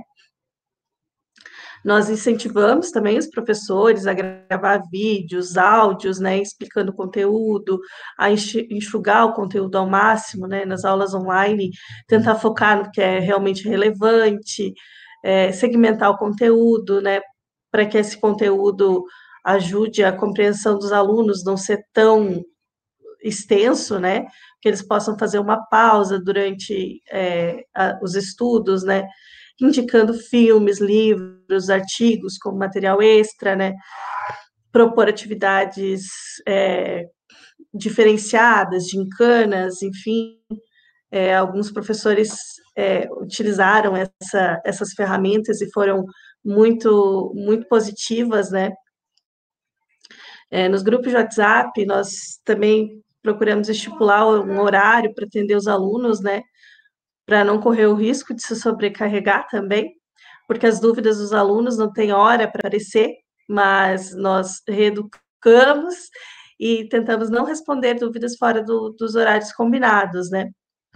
É importante também comunicar o óbvio, que a comunicação mediada pela tecnologia possui um ruído, né? Perguntando sempre aos alunos que o que desperta interesse deles na aprendizagem, às vezes as estratégias de ensino que cabem numa turma não são efetivas para outra, promover momentos para além dos conteúdos de aula, possibilitando os estudantes falarem sobre como estão lidando com o processo de aprendizagem, né, nesse, nesse modelo de ANP. Eu e a psicóloga Maria Lúcia ainda elaboramos também um material orientador em PDF para os alunos, que foi disparado nos grupos de WhatsApp, é, dando orientações institucionais, dicas de organização de estudos, dicas de como não adoecer na, na pandemia. É, a Camila também organizou com o Pericles, nosso coordenador de gestão de pessoas, um outro vídeo. Ele compôs uma música falando da situação que estamos vivendo, gravou, todos os servidores do campus enviaram uma foto, uma mensagem para. Foi na Páscoa esse vídeo. É, até os nossos cachorros institucionais participaram do vídeo, porque é, muitos alunos falavam que estavam com saudade de tudo, inclusive dos cachorros, né? Nós temos alguns cachorrinhos ali que, que pertencem ao campus, né? É, foi uma forma de estarmos presentes nesse momento, né? por ser um campus menor, com menos alunos, né, foi possível também dividir a lista de contato dos alunos entre os integrantes da equipe. Fizemos contato com cada aluno através do WhatsApp e também por ligação telefônica é, fazendo uma pesquisa, perguntando sobre como eles estavam, como estavam enfrentando as dificuldades, o que estavam passando, como estava o acesso aos materiais, às aulas, o que estavam sentindo nesse momento, e nos colocando à disposição, identificando demandas, fazendo os, os encaminhamentos. Né? Esse processo foi bem cansativo, mas foi de grande importância, assim, tanto para nós, que identificamos diversas questões que fomos trabalhando, e para eles também, por se sentirem acolhidos pela equipe. É, trabalhar em um campus pequeno proporciona a gente personalizar a identificação da necessidade, olhando cada aluno de acordo com a sua história, de acordo com as suas demandas, né? Paralelo a isso, as demandas das assistência estudantil não pararam de chegar, né, com as dúvidas, receios dos alunos a respeito dos auxílios, e foi necessário um empenho de, de uma parte da equipe, principalmente a Camila e a Amanda, nessas questões, o meu gato, Opa! Os processos de auxílio internet também demandaram uma dedicação maior por parte da equipe e permanentemente fazendo acompanhamento dos editais e resultados associados à assistência estudantil, realizando divulgação dos discentes. Dois servidores do campus, o, o assistente administrativo ligado ao registro acadêmico, Herbert, e a nossa técnica em assuntos educacionais, a Lilian, eles organizaram um projeto chamado Telas Abertas, é, porque o atual cenário de isolamento social e a suspensão das atividades presenciais no campus pode haver sensação de distanciamento, de abandono da instituição em relação à comunidade local e aos próprios estudantes. É, considerando o compromisso social do IFSC, da rede federal, é, a capacidade da instituição de produzir e difundir conhecimento científico, é, num contexto em que a questão adquirir centralidade na preservação de vidas e a importância para os estudantes de sentirem a presença da instituição nas suas vidas, né, para além das aulas, né, que estavam ocorrendo de forma remota. Esse projeto ele teve como objetivo principal é, fortalecer a presença institucional no momento de distanciamento social, a partir do compartilhamento de vídeos ou áudios em diferentes canais de relacionamento, principalmente via WhatsApp, a ideia foi utilizar a, expertise dos, dos servidores do campus, criando material em vídeo e áudio que respondesse algumas questões, como qual melhor, lavar as mãos com sabão e água ou álcool 70, é, empreendedorismo, empreendedorismo, ideias para renda extra durante isolamento, como higienizar corretamente alimentos, é, essas questões né, foram respondidas pelos servidores do campus. E a equipe da coordenadoria pedagógica e da biblioteca, eles, nós nos engajamos nesse projeto e começamos a produzir conteúdos em áudio e vídeo, né, para ser disponibilizado no Facebook e no YouTube, para a gente também se aproximar desses estudantes, da comunidade em geral. É, a gente realizou esses vídeos e áudios com com os seguintes temas: dicas para o acesso a livros gratuitos, dicas para acesso a museus e tours virtuais, dicas sobre músicas, é, sobre cinema, para entreter crianças, como identificar aquilo que faz bem para você, jogos sem sair de casa, estratégias para o estudo durante o distanciamento social, com algumas ferramentas, é, técnicas sobre técnicas de estudo mesmo, né? É, a psicologia também criou alguns, alguns temas, como é, a psicologia pode nos ajudar, ajudar durante o isolamento social, é, pedido de sugestões de temáticas para a psicóloga, é, a psicóloga fez alguns vídeos e áudios sobre ansiedade também, enfim, é, foi uma forma de nós, em, com, que nós encontramos de estar presente na vida dos discentes, né? Nós realizamos o conselho de classe através do Doodle também. Criamos um questionário com perguntas avaliativas das disciplinas e dos docentes. Os alunos puderam responder essas avaliações de forma anônima para terem mais liberdade de se expressar. Eles avaliaram uma escala de 1 a 5 e também puderam acrescentar observações em cada, em cada questionário. Fizemos também uma conversa com os docentes em conjunto, depois separadamente, para acolher os docentes e também identificar com eles os alunos que necessitavam de acompanhamento. É, nós também estamos organizando rodas de conversa pelo Meet, contando como nós estamos durante a pandemia e o que nós estamos fazendo e ouvindo eles também. Utilizando questões como esse é o novo normal, não aguento mais ficar em casa, como conseguir estudar desse jeito, quando vai, isso vai passar, né, para esse nosso bate-papo e, e, estamos planejando também alguns desafios. Né? A gente pensa em propor esses desafios é, e divulgar eles através de um vídeo semanal no Facebook, no WhatsApp. É, pensamos em desafios assim como tomar sol, fazer exercício físico dentro de casa, assistir um filme, meditação, chamada de vídeo com uma pessoa querida, é, vamos fazer registro em foto, né, cumprindo esse desafio, e postar nas redes sociais. É, sem, é, quem cumprir todos os desafios, a gente pensa em estipular alguma premiação aí no, no retorno das atividades, né?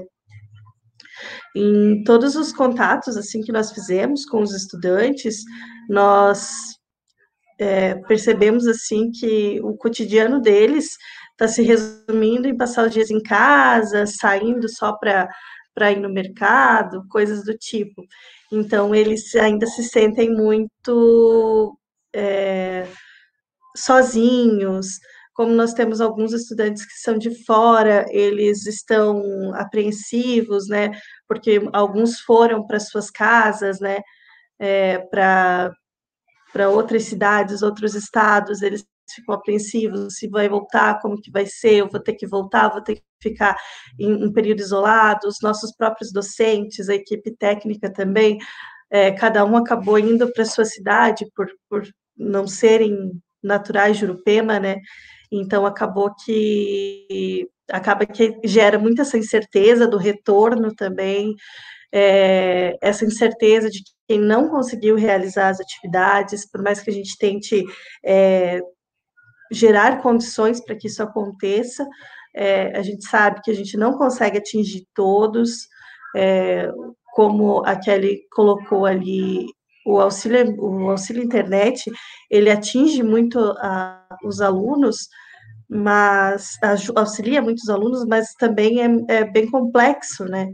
Porque os alunos têm que ter IVS válido, alguns ainda não tinham IVS válido, estavam com pendência de documentos, faltando entregar documentos, e veio a pandemia e não conseguiram entregar a documentação, então estão sem IVS, aí sem IVS não consegue solicitar o auxílio internet, mesmo quem consegue é, o auxílio internet, o 3G é, acaba o pacote de dados, eles não conseguem baixar vídeos para todas as disciplinas, e, e, isso gera muita ansiedade, muito desconforto nos alunos, e gera também na equipe, porque nós também nos preocupamos muito com, com os alunos e nos preocupamos com, com o retorno, né?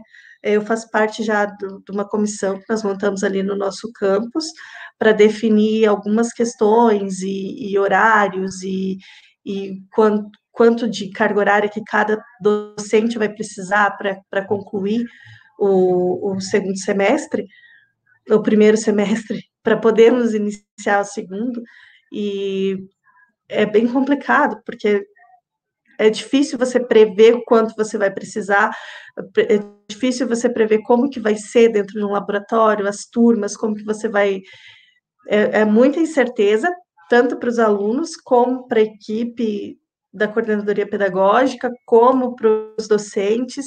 É um momento de total incerteza, mas a gente vai, vai vivendo essa essa realidade que, que está aí, né? Então, quero encerrar minha fala, mais uma vez agradecendo a, a, a, a oportunidade da gente vir aqui.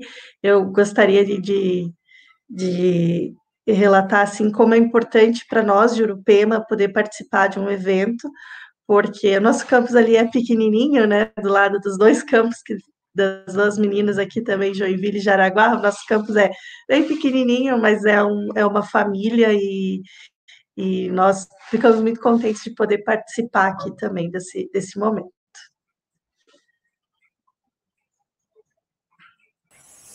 Bom, mais uma vez, gostaria de agradecer a todas as contribuições aqui pelas participantes de hoje, da live de hoje.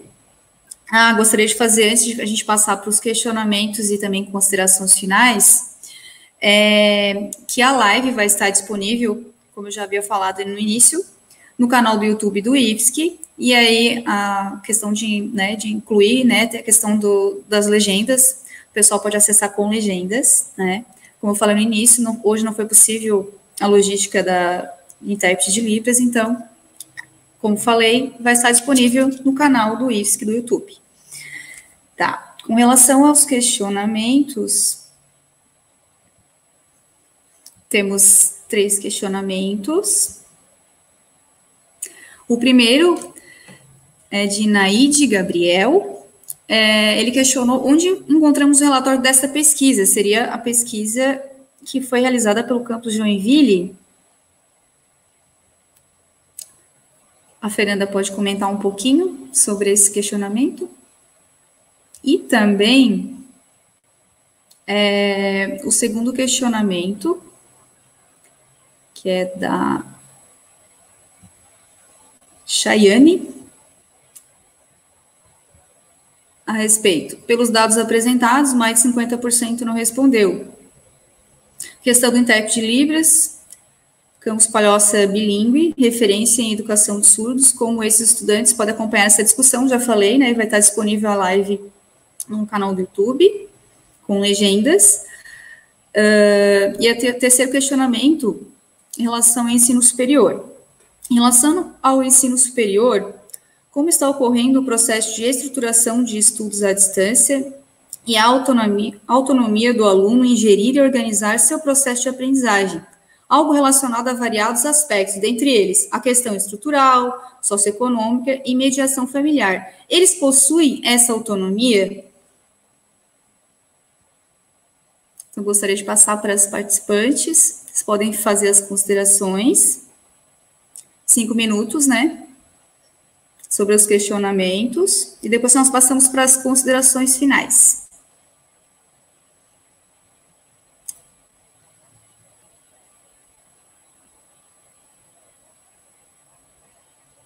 Podemos começar com a Fernanda? Sim, pode ser. É, em relação à pesquisa, é, a, gente, a gente pode estar tá repassando por vocês por e-mail, né? Vou pedir para que algumas das minhas colegas que estão presentes na live, elas puderem fazer essa gentileza de colocar nos comentários o nosso e-mail. Então, vocês podem mandar, a gente envia para vocês né, esse relatório com a pesquisa. Né? É sempre legal compartilhar né, esses dados. É, em relação à pergunta sobre sentimentos, né? Então, é, quando a gente fala dos sentimentos positivos, a gente, é, é a gente tem que sempre lembrar que é, é, um recorte, é um retrato dos alunos naquele momento que eles responderam a pesquisa. Isso foi lá em abril, né? Então, naquele momento, a gente teve é, um percentual de alunos que respondeu que sim, que tinha sentimentos positivos, né? Ou seja, não tinham casos é, alguma situação de ansiedade, alguma questão nesse sentido, ou alguns até se viam motivados, enfim, realizar essas atividades, mesmo sendo atividades não presenciais, né? Então, quando a gente é, construiu o relatório, a gente é, a, a, a, gente se debruçou muito mais nos sentimentos negativos, a gente se debruçou mais nessa análise. Mas a gente também não pode esquecer que a gente tinha um percentual alto também de estudantes que relatou: olha, é, eu tenho sentimentos positivos em relação a isso. Eu estou conseguindo me organizar, eu estou conseguindo. Isso para mim é legal porque tira o foco um pouquinho da pandemia, né? Então, isso foi importante a gente é, inserir na pesquisa também, porque é um dado importante para a gente refletir. É claro que a gente sabe que, como eu até falei já no início é, da nossa da minha apresentação, é, isso não representa, claro, que a totalidade dos estudantes, a gente tem isso muito claro, né, a gente sabe que apenas 500 é, estudantes responderam, a gente tem aí um total de 1.500, mas é um, é um certo retrato, né, nos dá algumas ideias, é, algumas ideias do que está acontecendo, né, mas a gente sabe que esses dados a gente precisa confrontar com outros, né, que ela não é uma, uma pesquisa acabada, elas, elas servem para a gente refletir né? Mas a gente não poderia também deixar de lado é, esse dado que tem sim alunos, né? Naquele momento, talvez nesse momento, esses sentimentos já mudaram, né? Se hoje, se a gente fosse repetir essa pesquisa, possivelmente até esses alunos que disseram, olha, tá tudo legal, talvez hoje já não tá, né? Porque a gente, a gente tem que lembrar que a gente fez a pesquisa lá no início, né? 20 dias é, do início do isolamento. Então, isso já pode ter mudado né? É, isso é muito dinâmico, né? A, a gente tá muito nesses altos e baixos, né? Às vezes a gente tá bem, às vezes a gente não tá, e a gente tem que considerar isso. É, em relação à terceira pergunta, eu acho que é do ensino superior, né? É, em relação a essa autonomia de reorganização de estudos, é uma pergunta assim que é difícil a gente dizer assim, ah, os alunos têm autonomia para isso, né? A gente sabe que é muito diferente. Né? A gente sabe que os estudantes, de maneira geral, é, eles têm agora, nas atividades não presenciais, é, um desafio muito maior, que é conciliar né, é, a família com os estudos, com os estudos, com todas as outras questões, e isso não é fácil, né? É, provavelmente isso não está sendo fácil, é algo que apareceu muito assim na pesquisa também, essa dificuldade de dar conta de tudo, né? É, a gente diz assim, é, a gente está preparado para isso? Eu acho que ninguém estava, eu acho que os alunos também não estavam, né? A nossa organização é, do ensino, desses cursos, eles não foram pensados para serem é, feitos dessa maneira, né? Então, é complicado a gente dizer assim, ah, eles têm autonomia? Não sei, né? Eu acho que cada um talvez está tentando se organizar aí da melhor maneira possível, né? Mas a gente sabe que é, tem uma problemática bem grande dos estudantes para dar conta de tudo isso, principalmente para aqueles alunos é, que trabalham, né, que, que tem que conciliar trabalho, estudo, família, casa, agora a, a tarefa também por é, quem tem filho pequeno, né, que está tendo agora que dá conta dessa demanda também da escola dos filhos, então acaba sendo muito complicado. Não sei se eu respondi, né, mas é, não sei se era isso que vocês queriam saber, ah, para ir para as minhas colegas, né, em relação a essa questão também, mas era isso. Bom, veio uma pergunta ali sobre o ensino superior. Tu pode repetir para mim, Fernanda, por favor, a pergunta sobre Sim. o ensino superior? Em tá relação. Uhum. Sim. Vou repetir. Em relação ao pessoal do ensino superior, como está ocorrendo o processo de estruturação de estudos à distância e a autonomia do aluno em gerir e organizar seu processo de aprendizagem? Algo relacionado a variados aspectos, dentre eles a questão estrutural socioeconômica e mediação familiar. Eles possuem essa autonomia? Uhum. Bom, nós temos dois cursos superiores, né? É, como eu tinha comentado, a licenciatura uh, houve a suspensão é, das atividades e a moda é, decidiu manter né, a, as atividades. E aí houve um, um, um, o próprio grupo, né, a, a, coordenação, o grupo de professores, é, a coordenação, a coordenadoria pedagógica, houve um trabalho bem intenso é, para resgatar esses estudantes e trazer principalmente a primeira fase. Na moda, na tecno, uh, na, é um, curso tec, uh, tecnológico que nós temos, né? É, é, o, o, esse, é o curso de moda, né, do superior de moda, nós temos uh, uh, esse engajamento, nós temos duas turmas só, a primeira e a segunda fase. É, esse engajamento foi, assim, bem, bem intenso, né? Então, assim, uh, até a Fernanda colocou sobre a questão da autonomia, né? É, não sei se todos têm autonomia, mas o papel do professor, da equipe no momento foi fundamental. É, o resgate, as aulas síncronas, né? Aqueles que não conseguiam ter atividades, teve profe- uh, uh, assistir a aula ou, ou pegar as atividades pela internet, o professor deixava, chegou até levar uma no, na, na, casa de um estudante, ou então deixava pronto lá no, no, no, no campus, né? Então, assim, houve toda uma preocupação de manter essas aulas, né? E acredito que, é, pelos dados que a gente tem, dois ou três que não conseguiram acompanhar, mas os demais todos conseguiram acompanhar. É claro que a gente tem agora as incertezas, né? Como é que vão ficar? É, eles conseguiram manter até agora. A partir de agora, como é que a gente vai conseguir manter, né? Então, há as incertezas também. É, a gente consegue, sim, fazer esse trabalho, mas tem que ter todo o empenho, né? Tem que ter o empenho de toda a equipe. Se a gente não tiver engajado, não, ah, não a gente não consegue manter esse equilíbrio, não. Então, é, o nosso campus ele possui dois cursos superiores também, a tecnologia de alimentos e o superior em enologia, que são dois cursos bem práticos. Então, os professores aí têm um grande desafio em colocar essas disciplinas de forma teórica, mesmo assim irão faltar é, essas partes práticas que nós depois iremos concluir nos laboratórios, né? Então, está é, sendo um desafio organizar isso e, junto com isso, os estudantes também conseguirem se organizar. Então, é, é essa parte o, a coordenadoria pedagógica ela vem trabalhando com os estudantes, fazendo essas ações, vídeos, colocando formas de estudo, é, auxiliando nessa forma, é, dando técnicas para tentar auxiliá-los né, nesse, nesse período. É, nós sabemos que é muito difícil se organizar em casa, que muitas vezes, mesmo você tendo aquele horário de aula, você não consegue, dentro de casa, é, cumprir esse horário.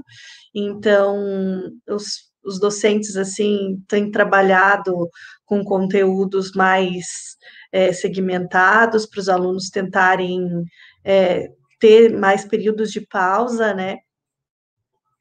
E deixando mesmo uma autonomia de, de horários, de, de formas de entregar as, as atividades, né? Então, nessa, nessa parte, os, os professores do, do nosso campus estão sendo bem flexíveis com os alunos, e os alunos também têm compreendido, né, que, que é importante tirar esse tempo para concluir as atividades. É, mas é um desafio grande se organizar dentro desse, desse novo contexto, né? Bom, após a, os questionamentos, teve mais um questionamento aqui. Dentre todos os temas, interfaces e perspectivas de, do Marcos Luiz Grans, membro do nosso grupo. Dentre todos os temas, interfaces e perspectivas de análise no tocante à relação entre as ANPs e êxito, o que, poderia, que, que poderíamos né, definir como essencial para ser analisado, investigado, compreendido?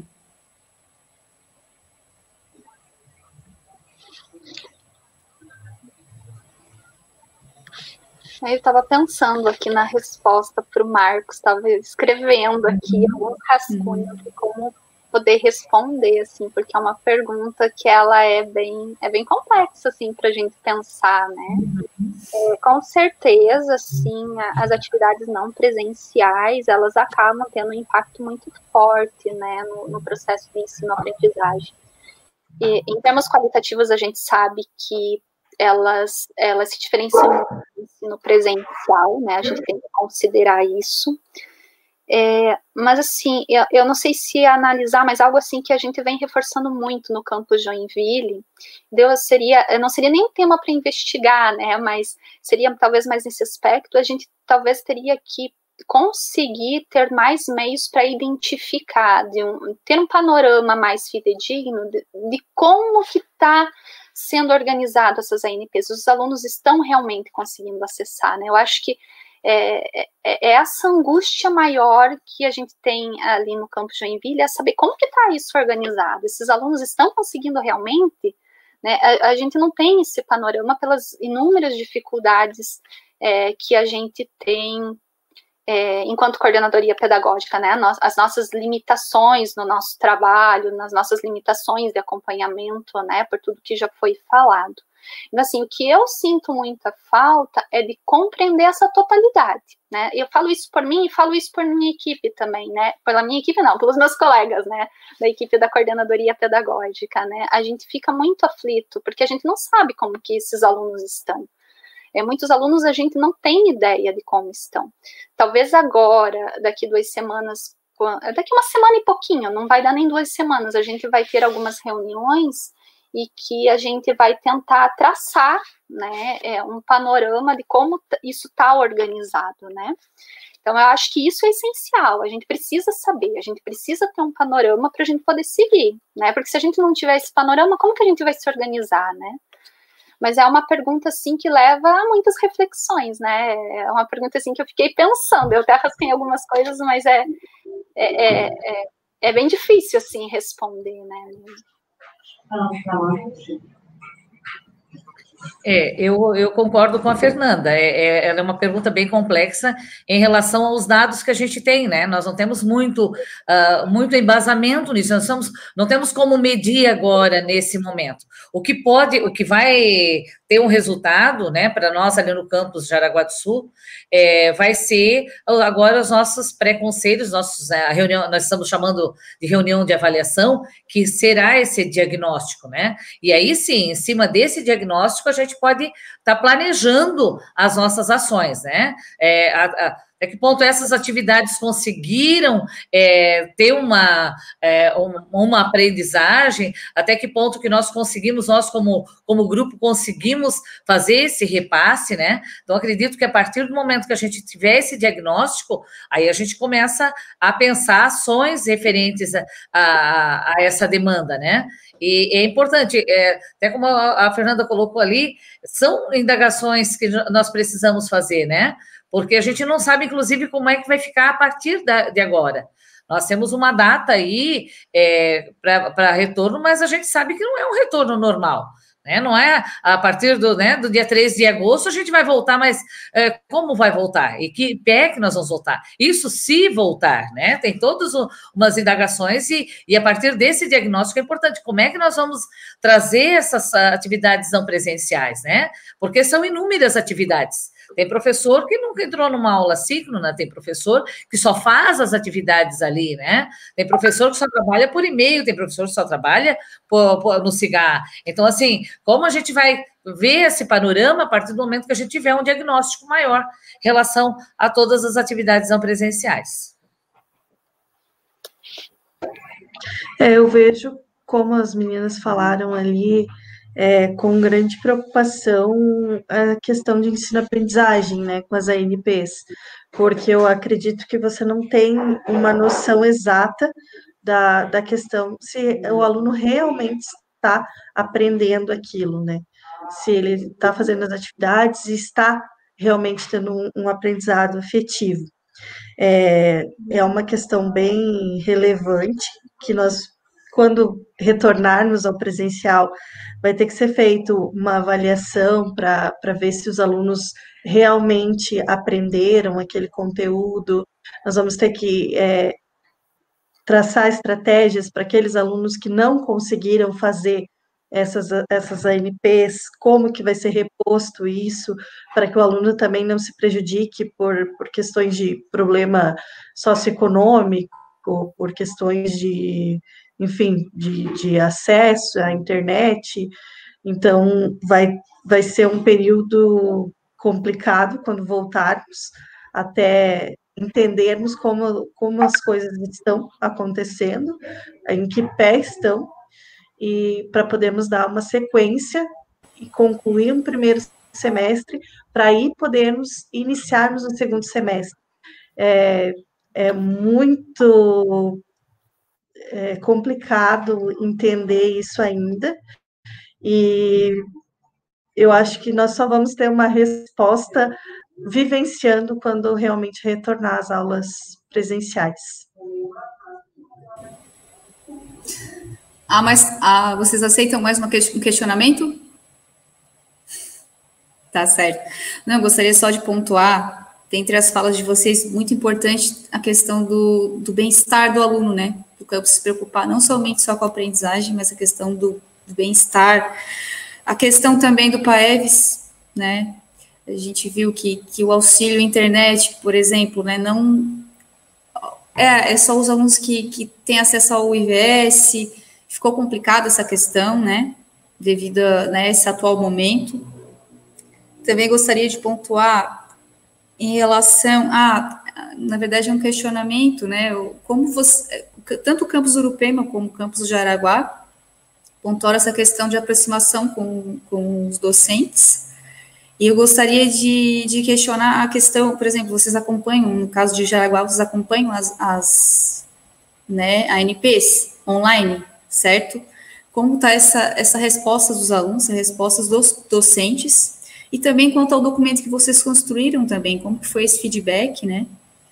E em relação à pesquisa da Fernanda, também como foi importante essa questão do sentimento né, do, dos alunos com relação a esse momento, né, do campus Joinville, Então, são essas pontuações e esses questionamentos que eu gostaria de fazer, se for possível, ainda esses minutinhos que faltam.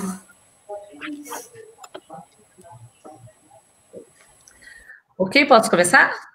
Sobre é, sobre você colocou ali o auxílio emergencial, a internet, o PAEVS, né? São duas questões é, que nós também, eu até coloquei ali uma crítica que eu faço, porque nós temos que sentar e discutir, não dá para mais é, colocar quem estava recebendo continua até 31 de julho e os demais. Como é que fica a questão dos demais? O auxílio internet veio, veio foi bom, né? Só que a gente vai ter que arrumar estratégias como o PENAI, é para todos, né? Acho que a partir do momento que esse estudante está matriculado, ele deve sim receber esse auxílio, porque as primeiras fases nós não conseguimos fazer. Nós começamos um mês de aula, foi a primeira chamada.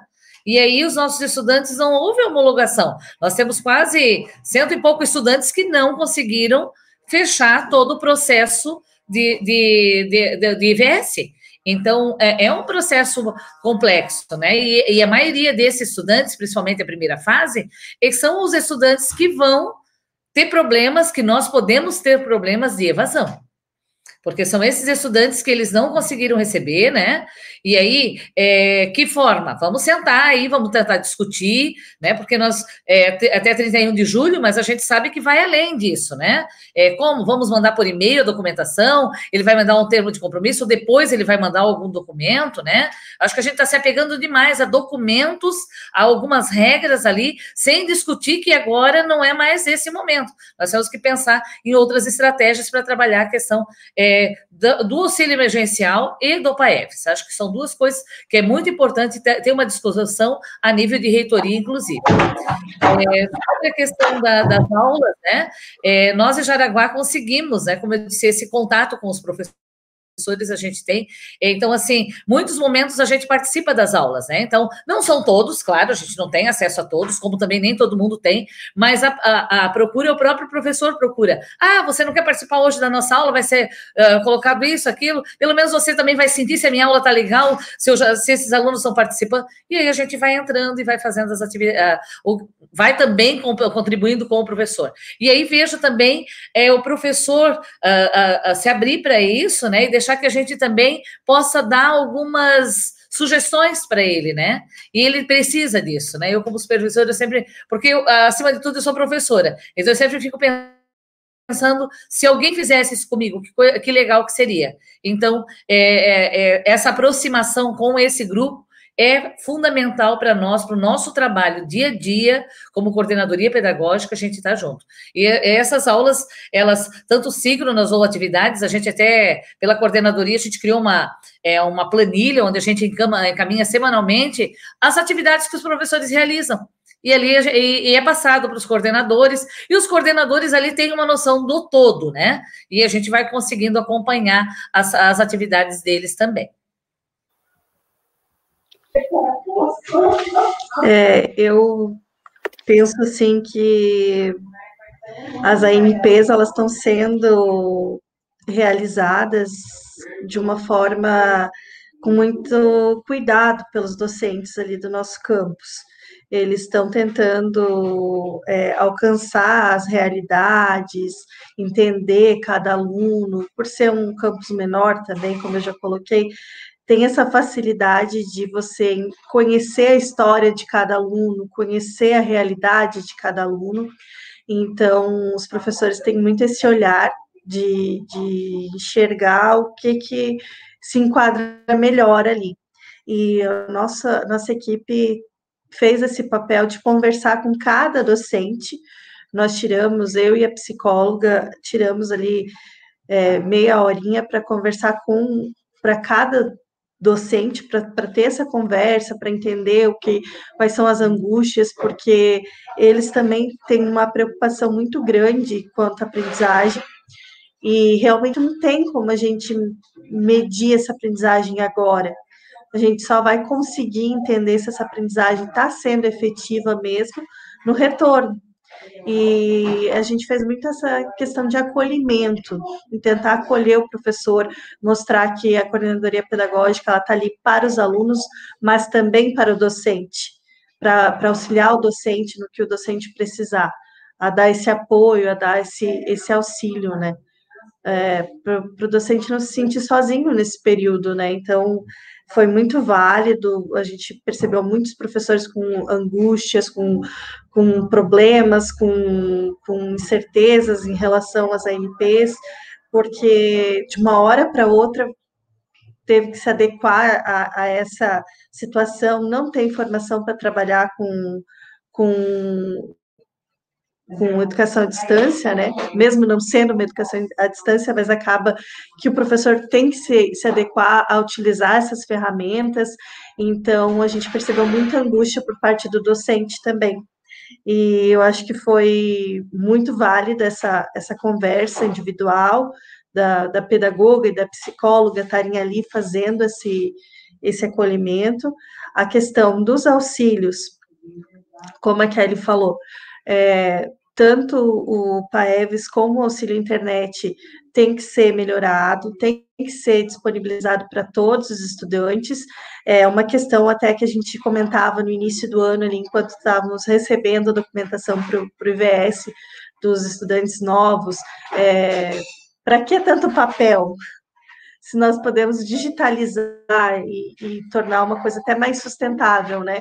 E eu acho que dá para ser revista essa política, sim, tentar é, reduzir o, o, uso do papel, digitalizar, tentar outras formas para que os estudantes consigam encaminhar essa documentação para eles também poderem concorrer ou dispensar o IVS para esses auxílios emergenciais, né? Porque nós sabemos que muitos estudantes estão precisando desses auxílios e, e não conseguem ter acesso porque na primeira fase não deu tempo ainda, ficou faltando alguma documentação, e é realmente as primeiras fases as mais complicadas e com maior risco de evasão. Então, eu acho que a instituição, nesse ponto, poderia ter um, um papel mais acolhedor com os estudantes das primeiras fases. É, era o relacionamento sobre a, os sentimentos não, que a Fernanda fez ali. É, a gente ficou bem preocupado em realizar essa pergunta na pesquisa, porque era uma realidade que nos preocupava já no ano passado, né, e que veio acompanhando a gente por todo esse período. Então, a gente sabia que provavelmente nesse período, é, essa demanda, né, é, é essas questões de saúde mental, provavelmente elas iriam, iriam aparecer, é, iriam aparecer mais. Então, é bem importante a gente saber. É, e, e, assim, em termos práticos, quando a gente fez essa pergunta, nas nossas reuniões que a gente fez lá, acho que foi mais ou menos em maio, quando a gente fez reuniões por, por é, com os cursos, a gente é, salientou isso para os professores, que, por exemplo, é, atividades com entregas de trabalho muito próximas, é, o excesso de trabalhos, excesso de atividades, tudo isso poderia potencializar né, esses casos de ansiedade. Né? Então, é, em termos práticos, a gente conseguiu ter algumas reflexões para potencializar, esse debate com os professores né, nessas reuniões. Eu posso responder ali a pergunta do Marcos, que ele já faz uma pergunta ali no, nos comentários? Sim.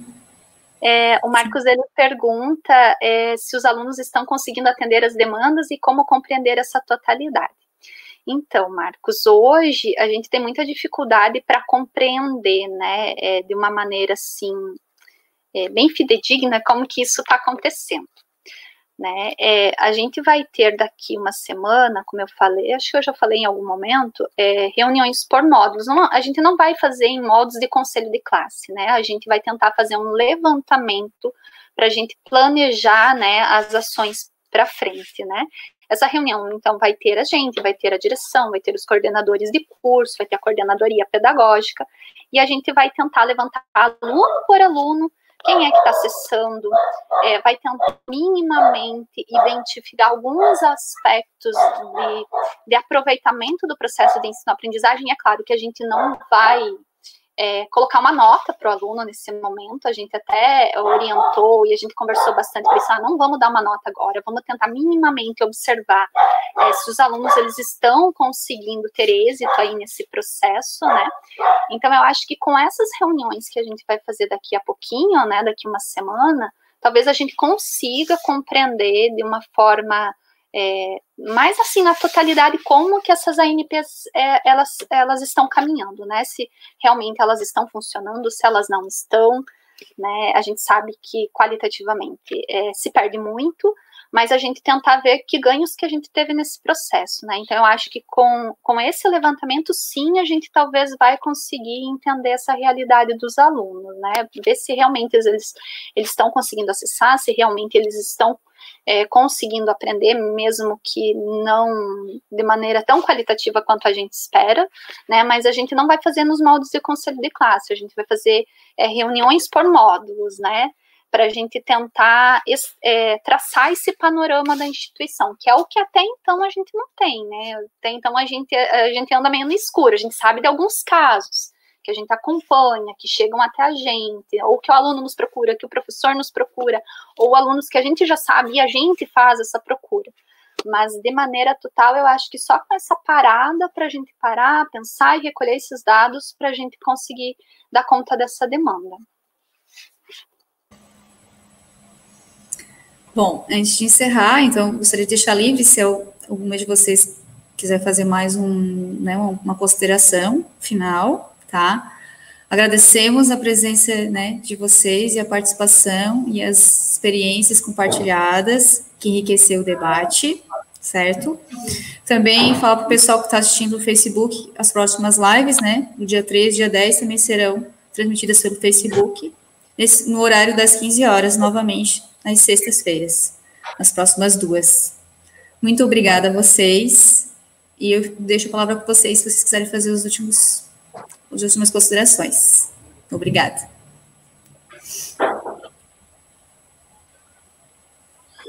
Eu queria agradecer a oportunidade de participar. É, Urupema é um, uma cidade pequenininha, é um campus pequenininho, mas é um campus muito acolhedor, acolhe seus estudantes e acolhe seus professores e acolhe a equipe técnica. Nós estamos muito felizes de poder participar de um evento, né, de, de mostrar nossa realidade também, enquanto é, campus e, e, e mostrar para os nossos estudantes que, que estudarem Europema também, é, os, os, estudantes podem perceber como que o IFSC é importante na vida deles e estar em Urupema também, né? Porque às vezes um pouquinho de preconceito com o nosso campo, por ser tão pequenininho, né? Mas é, Urupema está aqui na live no Facebook da, do, do IFSC. É isso. Eu também quero agradecer né, a, oportunidade é, de contar um pouquinho do nosso campus, né? Quero agradecer ao Pedagógico de Jaraguá do Sul pelo trabalho, pelo empenho. Eu estive à frente da coordenadoria há alguns anos e eu sei que o trabalho é árduo e assim, se a gente não se engajar como equipe, a gente não consegue, né? E uma das demandas, uma das maiores demandas nossas é o acesso, a permanência e o êxito dos nossos estudantes. Então, uh, primeiro quero agradecer a esse grupo maravilhoso que temos, né? Ao Instituto Federal, que também é engajado, nós já fizemos alguns encontros das coordenadorias pedagógicas, e a gente, cada vez a gente discute a permanência e êxito, a gente tenta entender como é que a gente pode melhorar as ações, estratégias para melhorar também as nossas, uh, o nosso trabalho. É, e deixar, né? Claro que a gente tem aí uma ainda uma boa caminhada, né? Nós estamos aí, uh, esse retorno, como vai ser, né? E eu acho que o, o, principal é a gente pensar, né? Como que nós vamos trabalhar esse impacto emocional, né? Com os nossos estudantes e com os nossos servidores, com os nossos, é, o, a, aqueles que estão tão perto da gente, né? Como nós vamos trabalhar? Aí é um desafio grande. E aí a gente precisa estarmos juntos e fazer, né? Aí estratégias, criar estratégias para que a gente dê conta de toda essa demanda. Obrigada, obrigada vocês por estarem pelo grupo GTEC, grupo que eh, está realizando um excelente trabalho, que continue assim. Obrigada, gente. Eu também quero agradecer a oportunidade, né, de a gente poder compartilhar as experiências, né, de diferentes realidades, né, Então, é, quero agradecer por isso, por poder compartilhar o nosso trabalho e poder e parabenizar também a equipe do GTEC pela proposta. Eu acho que é bem legal a gente fazer essas discussões, a gente parar, pensar, refletir. Então, mais uma vez, parabéns para vocês também.